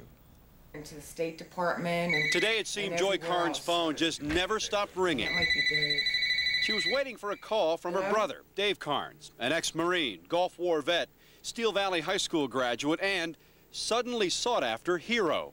But that's like Dave. You know, he said he was going to go save lives and see where he was needed, needed, and sure enough, he, he was right there. Was he ever? Dave left his Connecticut office, picked up a Marine buddy, and they bolted to Manhattan to do what the Corps taught them to do. And here, under a 40-foot mountain of misery and death, they found signs of life. Two faint voices calling for help. Dave couldn't raise the local rescuers on his cell phone, but... He got through to me. So his sister, back home watching all of this, called 911 here, and they made contact in New York, and the rescuers got there in time. Dave had already started digging. They found him 40 feet down. So eventually they ended up getting down there somehow, you know, um, through the rubble because he was digging them out with his hands. Dave Carnes knows his way around the World Trade Center. He used to work for a company that was based there back in 93, the first time it was attacked. There are two guys very thankful he found his way back. In Munhall, Sam Merrill, Channel 4 Action News. Just a remarkable Remarkable. story. Another remarkable story. People are giving, giving right now to try and help in this disaster relief effort. We have a phone bank uh, right across the hall with the Salvation Army. The number there is 243-6000. Stephen, tell us about how much they've raised in just a little over five hours. Stephen Cropper. Well, Sally, we are coming up on the $22,000 mark, and as you mentioned, uh, we are in the disaster relief mode here. Numbness beginning to wear off just a bit after yesterday's catastrophe uh, throughout the nation, and the Salvation Army is the conduit for the viewers to actually provide some relief. Major Glenn Bloomfield is here with me, and uh, Major, you and I were just talking off camera about the, uh, the viewers' need to help out. Tell me a little more about that. Uh, there's no question about that, uh, Steve. I think that within each and every one of us, God has imprinted us in such a way that we all feel that urge and that need to respond when we see people in need, regardless of who they are, where they're from in this country, and uh, as is evidenced by the ringing phones, people are responding. What sort of items or uh, what things are you looking for now? Are we in a strictly financial uh, mode now? Well, at this point, yes, Steve. Earlier today, our request from our New York office is primarily to serve those on Manhattan, mm -hmm. where the Twin Towers was, was for bottled water.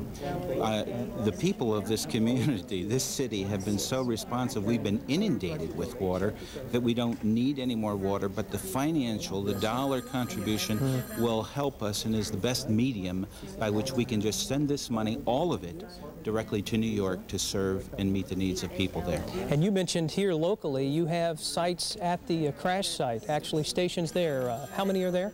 Uh, right now, there are five canteens, Steve, right at the uh, the site. Uh, two at a command center, two at a medium uh, the media location, uh, and uh, one that's a roving canteen around there. Okay. We will be back with Major Bloomfield throughout the newscast. The number at the bottom of your screen will continue to be there, 412-243-6000. This is your chance to help out. Scott, Sally? Thanks very much, Stephen. Okay, picture this. You are flying somewhere yesterday all of a sudden you weren't planning to go to Pittsburgh or you weren't planning to go to Kentucky, for, for instance, right. and then your plane turns around and lands, and you're stuck all day, all night, and most of today. That's the case for thousands of exhausted travelers who had their flights diverted after yesterday's terrorist attack. They sat and waited for the airports to reopen. And watching local hotel rooms, the coverage. Uh, the FAA has uh, made some decisions today. They are not allowing any additional commercial flights except for the flights that had been diverted yesterday. So they're allowing some of those flights to head home. As you heard Norman Mineta say, just as we were going on the air at 5 o'clock in his news conference, that they're going to keep this uh, restriction as far as commercial flights in place for a time. We don't know if that means through tonight, tomorrow, we're going to get more on that.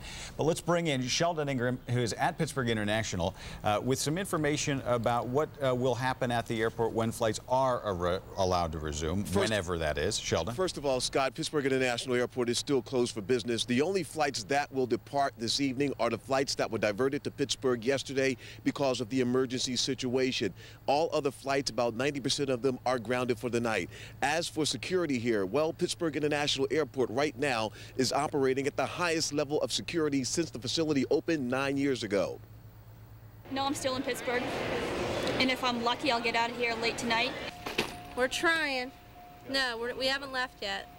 At 1.50 p.m., travelers received word that the majority of flights out of Pittsburgh International Airport are canceled for another night.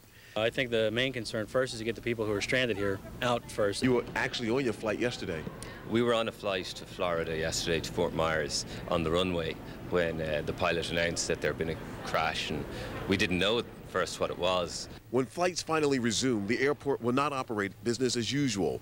Grinding security checks and heightened sensitivity to terroristic threats dictate how and when people access the airport. The objective, keep vehicles 300 feet from the main terminal. Security is heightened. We have increased the personal checks. We have increased the scrutiny at the checkpoint. This area normally handles thousands of vehicles waiting for passengers who've just arrived at the airport. But as you can see, it's empty, and it'll remain this way today, tomorrow, the next day, until the FAA says it's safe to relax airport security. Instead, people have to be picked up and dropped off here at the long-term parking area. From here, they take the movable walkway to the main terminal. Again, the objective, according to the airport authority, is to keep vehicles at least 300 feet away from the main terminal. Only passengers are allowed beyond the security checkpoint. Even vehicles dropping off airline and airport employees are restricted. The airport authority expects gridlock once the airport opens to all air traffic. To what extent, authorities don't know. Are travelers inconvenienced? Yes. Are they complaining? No. Not when one considers the catastrophic and abominable terrorist attack on America that has ripped through the hearts of so many people. In light of what's happened, no. uh, it's not an inconvenience whatsoever considering the loss that other people are. Absolutely. It's a minor inconvenience considering the loss that many other people suffered yesterday. Certainly. Didn't mind the drive at all. Again, at this hour, Pittsburgh International Airport is shut down for business as we know it. The only flights that will be going out tonight are the flights that were directed here in the emergency situation yesterday. We do not know at this moment what time those flights will take off. Also, because air traffic has been shut down across the country, we ran into several people who spent the night driving across the country to get back home to Pittsburgh. We met, met one couple who drove from Daytona Beach, Florida, and another man who drove through the night from New Orleans. Other people are renting cars here in Pittsburgh and driving back to their original locations. Reporting live from Pittsburgh International Airport, Sheldon Ingram, Channel 4 Action News. Sheldon, let me ask you, you talked about flights that had been diverted here now being allowed to leave. Some flights that had originally intended to arrive in Pittsburgh had to be diverted elsewhere yesterday. And we are they going to be allowed to land or return to Pittsburgh? Have planes been coming in? Planes have not been coming in yet, but this is a directive from uh, the Department of Transportation and the FAA, so we expect that other airports around the country will release those flights as well that were diverted. The flights originally scheduled for Pittsburgh should be coming in tonight, but there's no word as to what time that's going to happen. I even spoke with two people in the control tower here at Pittsburgh International Airport. Right now, they have no idea. They're waiting word from the FAA on when they can start releasing flights and receiving flights as well. All right, thank you, sir, for that. Now, when we look back at the planes yesterday, a total of four planes successfully hijacked. How, indeed, could the terrorists have slipped by airport security? Slipped by security, overpowered the flight crews. From fragments of those heartbreaking cell phone conversations, we have gathered the terrorists may have used knives and box cutters to take control. Investigative reporter Jim Parsons looked into the security at Pittsburgh International. Jim?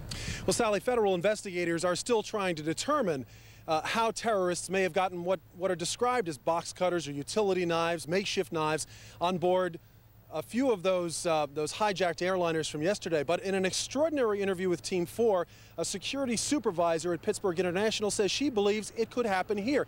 In fact, she says she believes someone could even get a gun through security. For the past year, Allison Brown has worked the security checkpoint here at Pittsburgh International. Recently, she was promoted to supervisor. She's alarmed by what she calls security lapses here. We're not trained to know what, a, what an object would look like taken apart. You just are looking for a gun. You're not It- looking for pieces of a gun. Right. Most people wouldn't know what pieces of a gun look like. You think it should be different? Most people don't even know what bullets look like on the x-ray.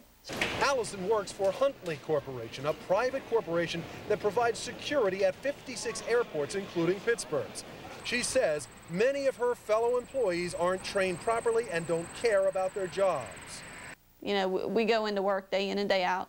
You know, just it's another job, ho hum, ho hum. But nobody even thinks about what we're there supposed to be doing. There's no doubt about it. Security is definitely tighter here at the airport. Check this out. At the restaurants, you won't find knives anymore, only spoons and forks. But Allison Brown says that doesn't change the main problem. The main problem, she says, the hiring policy for security employees. I mean, we have a 400% turnover rate. Employees come and go in the same week. I mean, that's pretty much a big joke around Huntleigh. You know, people coming in, oh, well, how long are these ones going to last? Allison says Huntleigh starts its security workers at $6.50 an hour. That's less than fast food workers here make, less than what janitors make. William Scott is a former airport security employee who now works for U.S. Air Express. He agrees with Allison. I walked right through there before, and just the past two weeks, and I've rang and nobody said nothing. So you'd go through and it would ring and it would ring and I went right through. And I just hope for the people in America that this stops. You know, for security, that's what we need to be. We don't need to be just there, you know, for socialization. We don't need to just be there for a paycheck.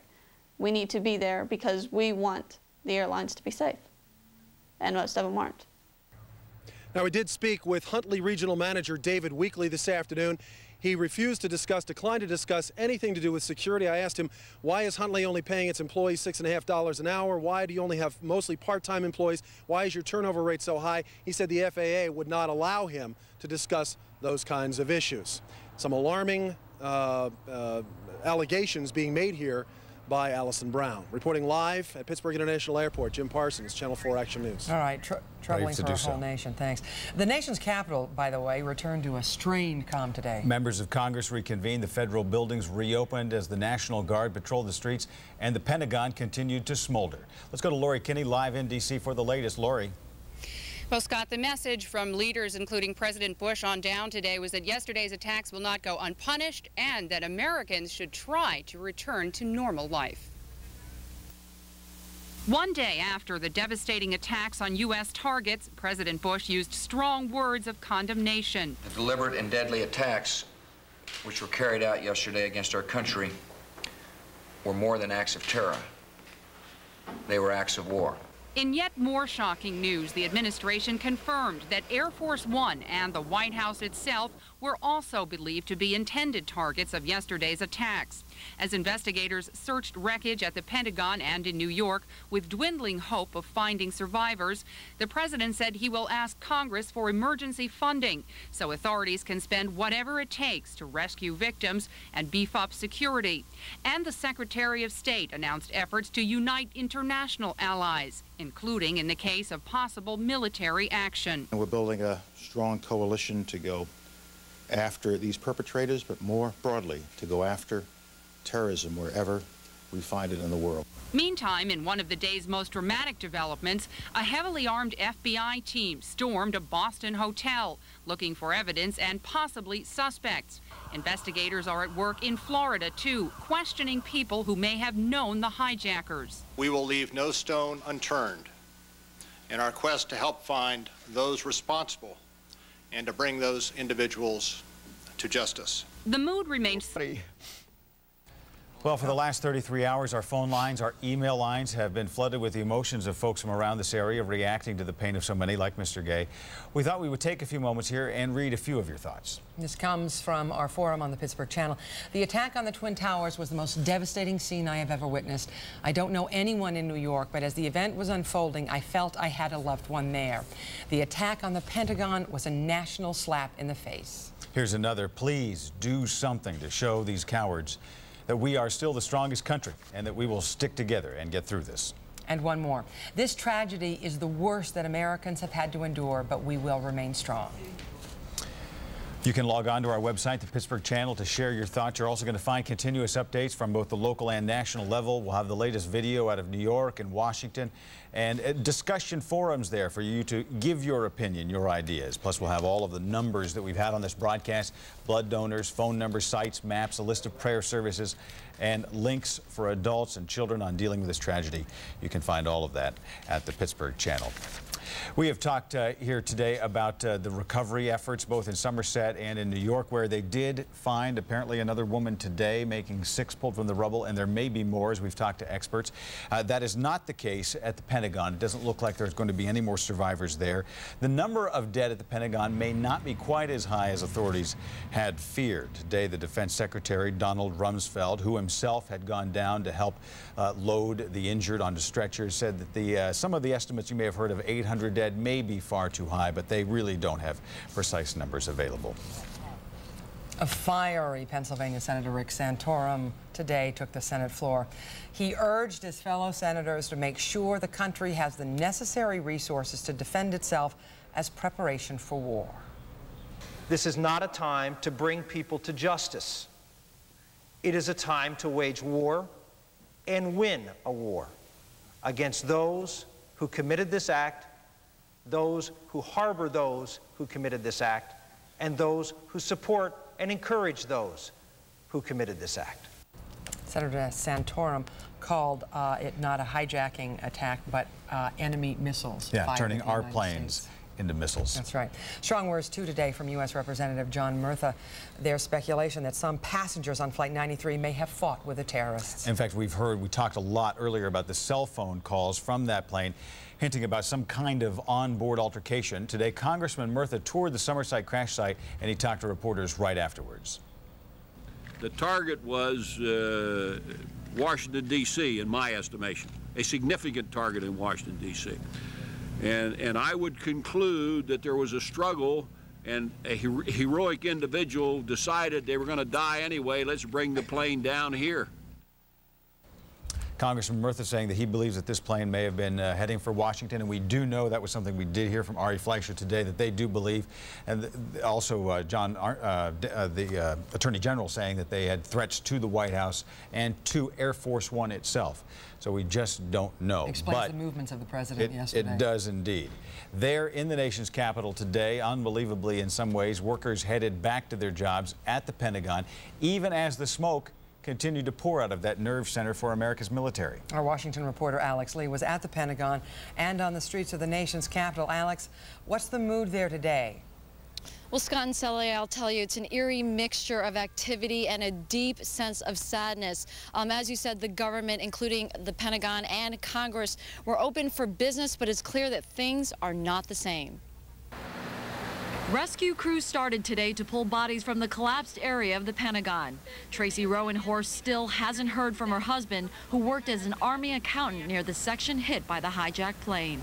I am praying and hoping that him or anybody else from that department can be found. But authorities say they do not expect to find any more survivors. Although there's no word on the exact number of casualties, some officials think one to 200 people are dead or missing, a lower estimate from last night. Even with smoke still pouring from the military's headquarters, some Pentagon employees returned to work. Army Staff Sergeant Desmond Hunter described the mood inside. Well, it's uh, very somber right now. Meantime, back in downtown Washington, most streets are now open, including here on Pennsylvania Avenue. Most businesses are open, subways are running. Many people showed up at work. I specifically came to work today because I felt it was important to get back into the groove, to get the nation up and going. But it's clearly not business as usual. There's heightened security around the Capitol building and the White House. Military police are stationed at intersections. The government was open but allowed employees to stay home. Schools are closed. The city is still under a state of emergency. No, it's not back to normal. Uh, it's going to take a long time. But it seems to be quiet, a solemn, kind of somber, peaceful feeling. A feeling perhaps embodied by this woman outside the Pentagon praying for the victims.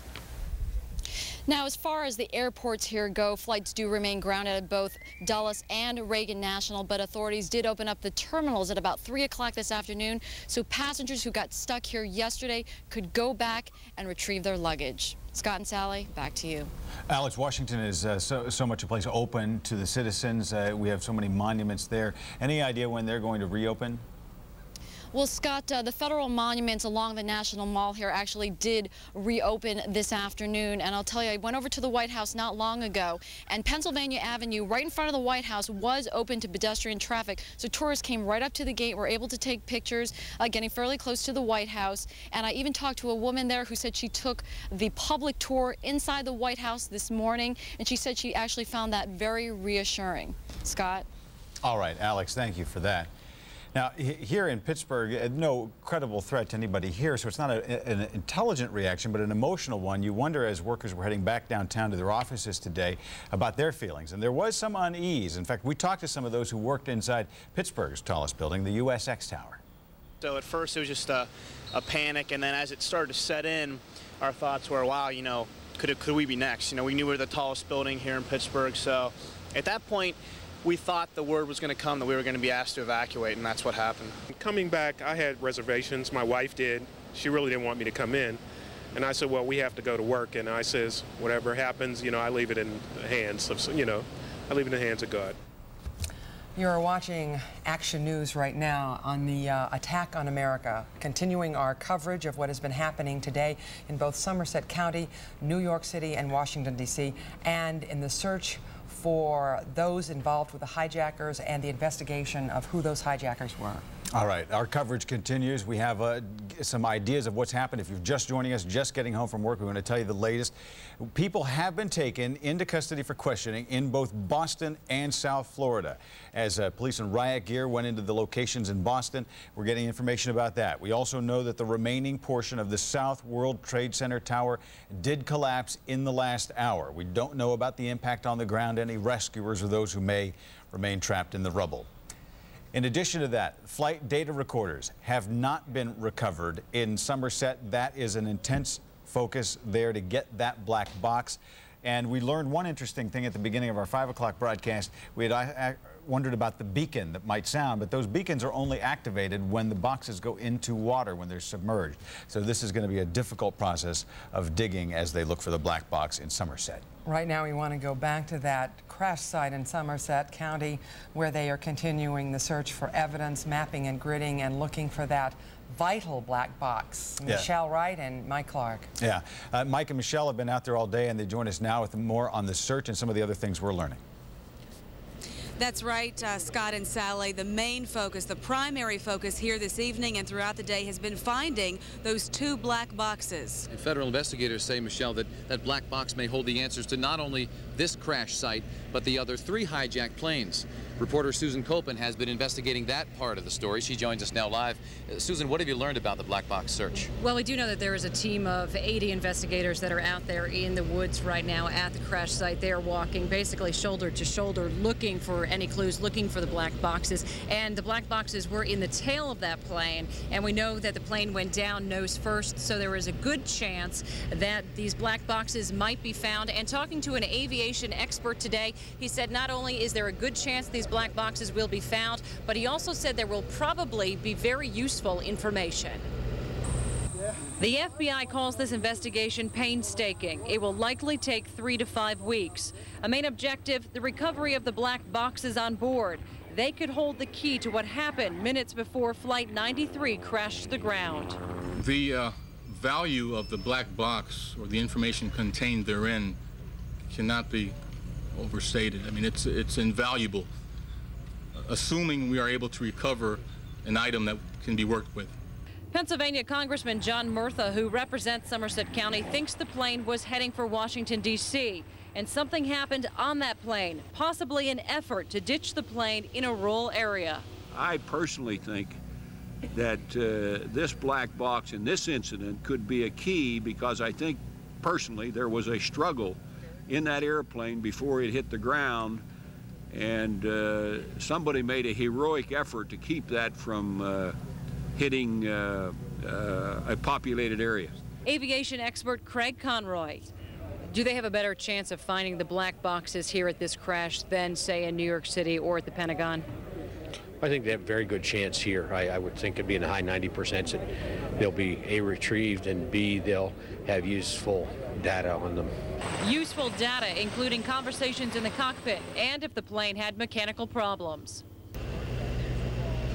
And once again, those black boxes are located in the tail of the airplane. And in this case, with the plane going nose first into the ground, that is a good sign that those black boxes might be in good shape. And as you heard the aviation expert saying, he thinks there's a 90% chance that the black boxes are going to be recovered and that right. there's going to be useful information. He said if they find those boxes in the next couple days, we might actually have information by next week from those boxes. That quickly. Yeah. That's great. And when we were talking to Congressman Murtha earlier today, he's convinced that those black black boxes will show that there was some sort of struggle on the cockpit and a hero right. Sh should be I recognized. Think that's his theory that there was in fact a struggle, and we're getting some of that information from the folks who made the cell phone calls to their relatives saying they were going to do something about this.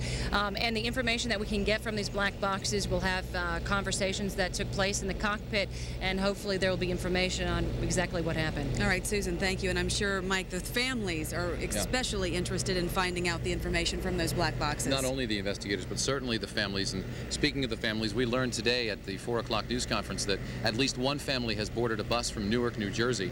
Um, eight members of one of the victims' families is headed to Pennsylvania. In fact, that family may already be here.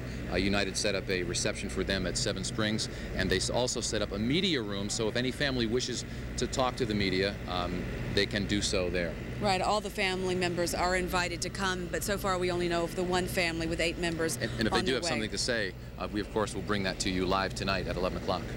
Now, there have been lots of different accounts from witnesses on the ground about what they saw, and we want to take a close look at that right now. That's right. Team 4 investigator Paul Van Osdol has been looking into very serious claims that there was another plane in the air minutes after this crash. What have you been able to gather, Paul? Well, Mike Michelle, ever since the crash, we have been hearing rumors not only that there was another plane, but that perhaps the plane that crashed, Flight 93, was shot down. Now, the government flatly denies those rumors, but today I talked to four witnesses to the crash who were on the scene within five minutes of the crash who did tell me they saw another plane. Now, the mystery remains, where did this plane come from and who did it belong to? Jim Brandt was one of the first people to arrive at the crash site less than five minutes after the plane hit the ground. Above the wreckage, he saw something strange. We were walking back towards the crater and uh, we saw a second plane flying circles in the uh, vicinity right above the plane and uh, it stayed there for approximately a minute or two and then it just took off. Tom Spinelli, who was with Brandt, also saw the plane. Anything strike you about this airplane? Just the high wings in the back. I noticed the back wings were pretty high off the fuselage. Were there any markings on the airplane? No, it was all white.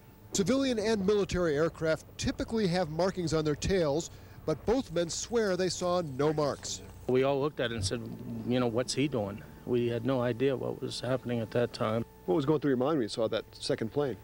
We was watching up in the air at it, making sure it wasn't coming down. Today, Congressman John Murtha responded to rumors that Flight 93 may have been shot down. The Secretary of Defense has told me personally the United States was not involved in shooting down the airplane. There may have been smaller airplanes in the area as well as perhaps commercial aircraft, but uh, to be specific, I, I don't know. Well, the FBI may be flatly denying that there were uh, any other military aircraft in the area, as they said, but that the fact remains that they have spoken to Jim Brandt and some of the other people who were witnesses to seeing this plane. They were just questioning them yesterday and today, asking them what they saw, whether they saw any markings, whether they thought it was a military or civilian aircraft, and basically uh, Jim Brandt and his his uh, coworkers told the FBI exactly what they told me, that they didn't see any markings. And that, uh, Mike and Michelle, is the most mysterious thing about this. Why was there a plane flying with no markings? Because any civilian aircraft should have a number on the tail that would indicate uh, who it's registered to. So that's the, the thing that that we're going to be trying to find out over the next few days. Sure, and in the latest FBI press conference, we asked the question, is there any indication from the wreckage that there might have been some sort of military activity involved? They could not comment, but they, uh, in essence, said that there was no indication as far as they know. They could not tell us anything, Paul, but I'm curious, did, uh, did Mr. Brandt say the FBI said anything to him about uh, any knowledge of a second plane? Well, he says that they indicated that they knew nothing about a second plane, uh, basically what they said earlier, that uh, they knew nothing, and they were quizzing him, though, quite intently about what he saw, and they, and they were really curious about what he saw and what some of the other people saw there. I'm curious to know that if, this, if there was a second plane, would there be any record of it on radar? Anything recorded at the Somerset County Airport? Well, we talked to an aviation expert earlier today who, who did indicate that there would be something on radar, but the interesting thing is, as we know, the uh, FAA basically shut down the skies at about noon yesterday, but uh, of course the crash occurred at about 10 o'clock in the morning, so it is possible that there could have been some civilian aircraft in the air at the time of the crash, but what would be curious is, to, is why these aircraft would not have any markings on them whatsoever. All right, well, hopefully we'll get some answers on that soon. We certainly hope to. Thanks, Paul. We appreciate it. Okay. Thank you very much, Paul. Um, the, the I guess what we can tell you tonight, the FBI did not say much about that second plane, but they did tell us that there will be a, a news conference tomorrow at 10:30. We hope to learn more then. That ongoing search, that shoulder to shoulder search uh, by technicians out in the field right now, is continuing. They're probably going to do that until the sun goes down tonight. Again, the primary focus here, the black box, but they are marking things along the way. We will keep you posted from Somerset County site. Sally and Scott. Guys, any word on the uh, families uh, uh, that I, I, know at least one family has been contact, contacted and is headed out to Seven Springs. Um, can you tell me if there are any others or have they arrived? What's the status? That's the only family the FBI indicated to us at around 4 o'clock. They told us uh, nothing more than they're on their way from Newark, New Jersey. Um, I know that in other plane crashes, airlines will fly uh, in families and, and keep them close to the scene and cl close to the information that they so desperately need to get.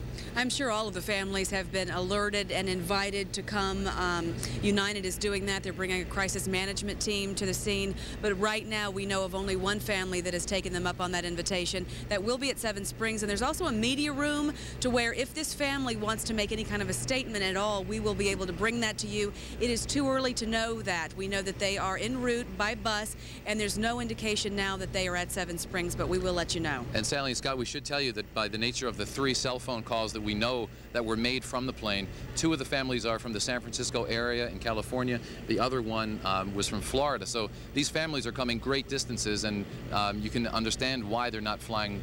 Uh, flying, so they're probably going to drive great lengths to get here. Uh, Mike, let me ask you about that, if they've uh, talked about that out there. Uh, we, we, know about the three people, and also of a fourth call, the one from the person in the bathroom who did not identify themselves when they called Westmoreland County 911. So we know about the flight attendant who called her husband uh, with uh, the terrible news, about the man who called his wife in San Francisco, about the son who called his mother. Uh, do we know that the, the man who told his wife that he was going to mount some kind of action on the plane, or the son, if they may be the man in the bathroom who also called 911? We can tell you this, Westmoreland County 911 confirmed for us that that 911 call did exist. Apparently this man did identify himself, but they are not releasing to us the name of that individual, and there is no indication that it is the same individual. All the FBI is telling us is that they believe there were four calls made. The FBI does have in their possession, in its possession, that 911 call, but they are not giving us any further details other than it lasted about a minute long, and the plane crashed some 10 minutes after that. Last night I asked Captain Frank Monaco of the state police uh, that very question, Scott and Sally, that uh, could that unnamed fourth call be one of the three calls that uh, that were, we know were made? Um, he had no indication that was, so uh, we're, we are believing that there was a fourth call made. Hmm. Well, eventually we will find out the name when the FBI does decide to release it, and, and at least that mystery will be solved. An amazing amount of information.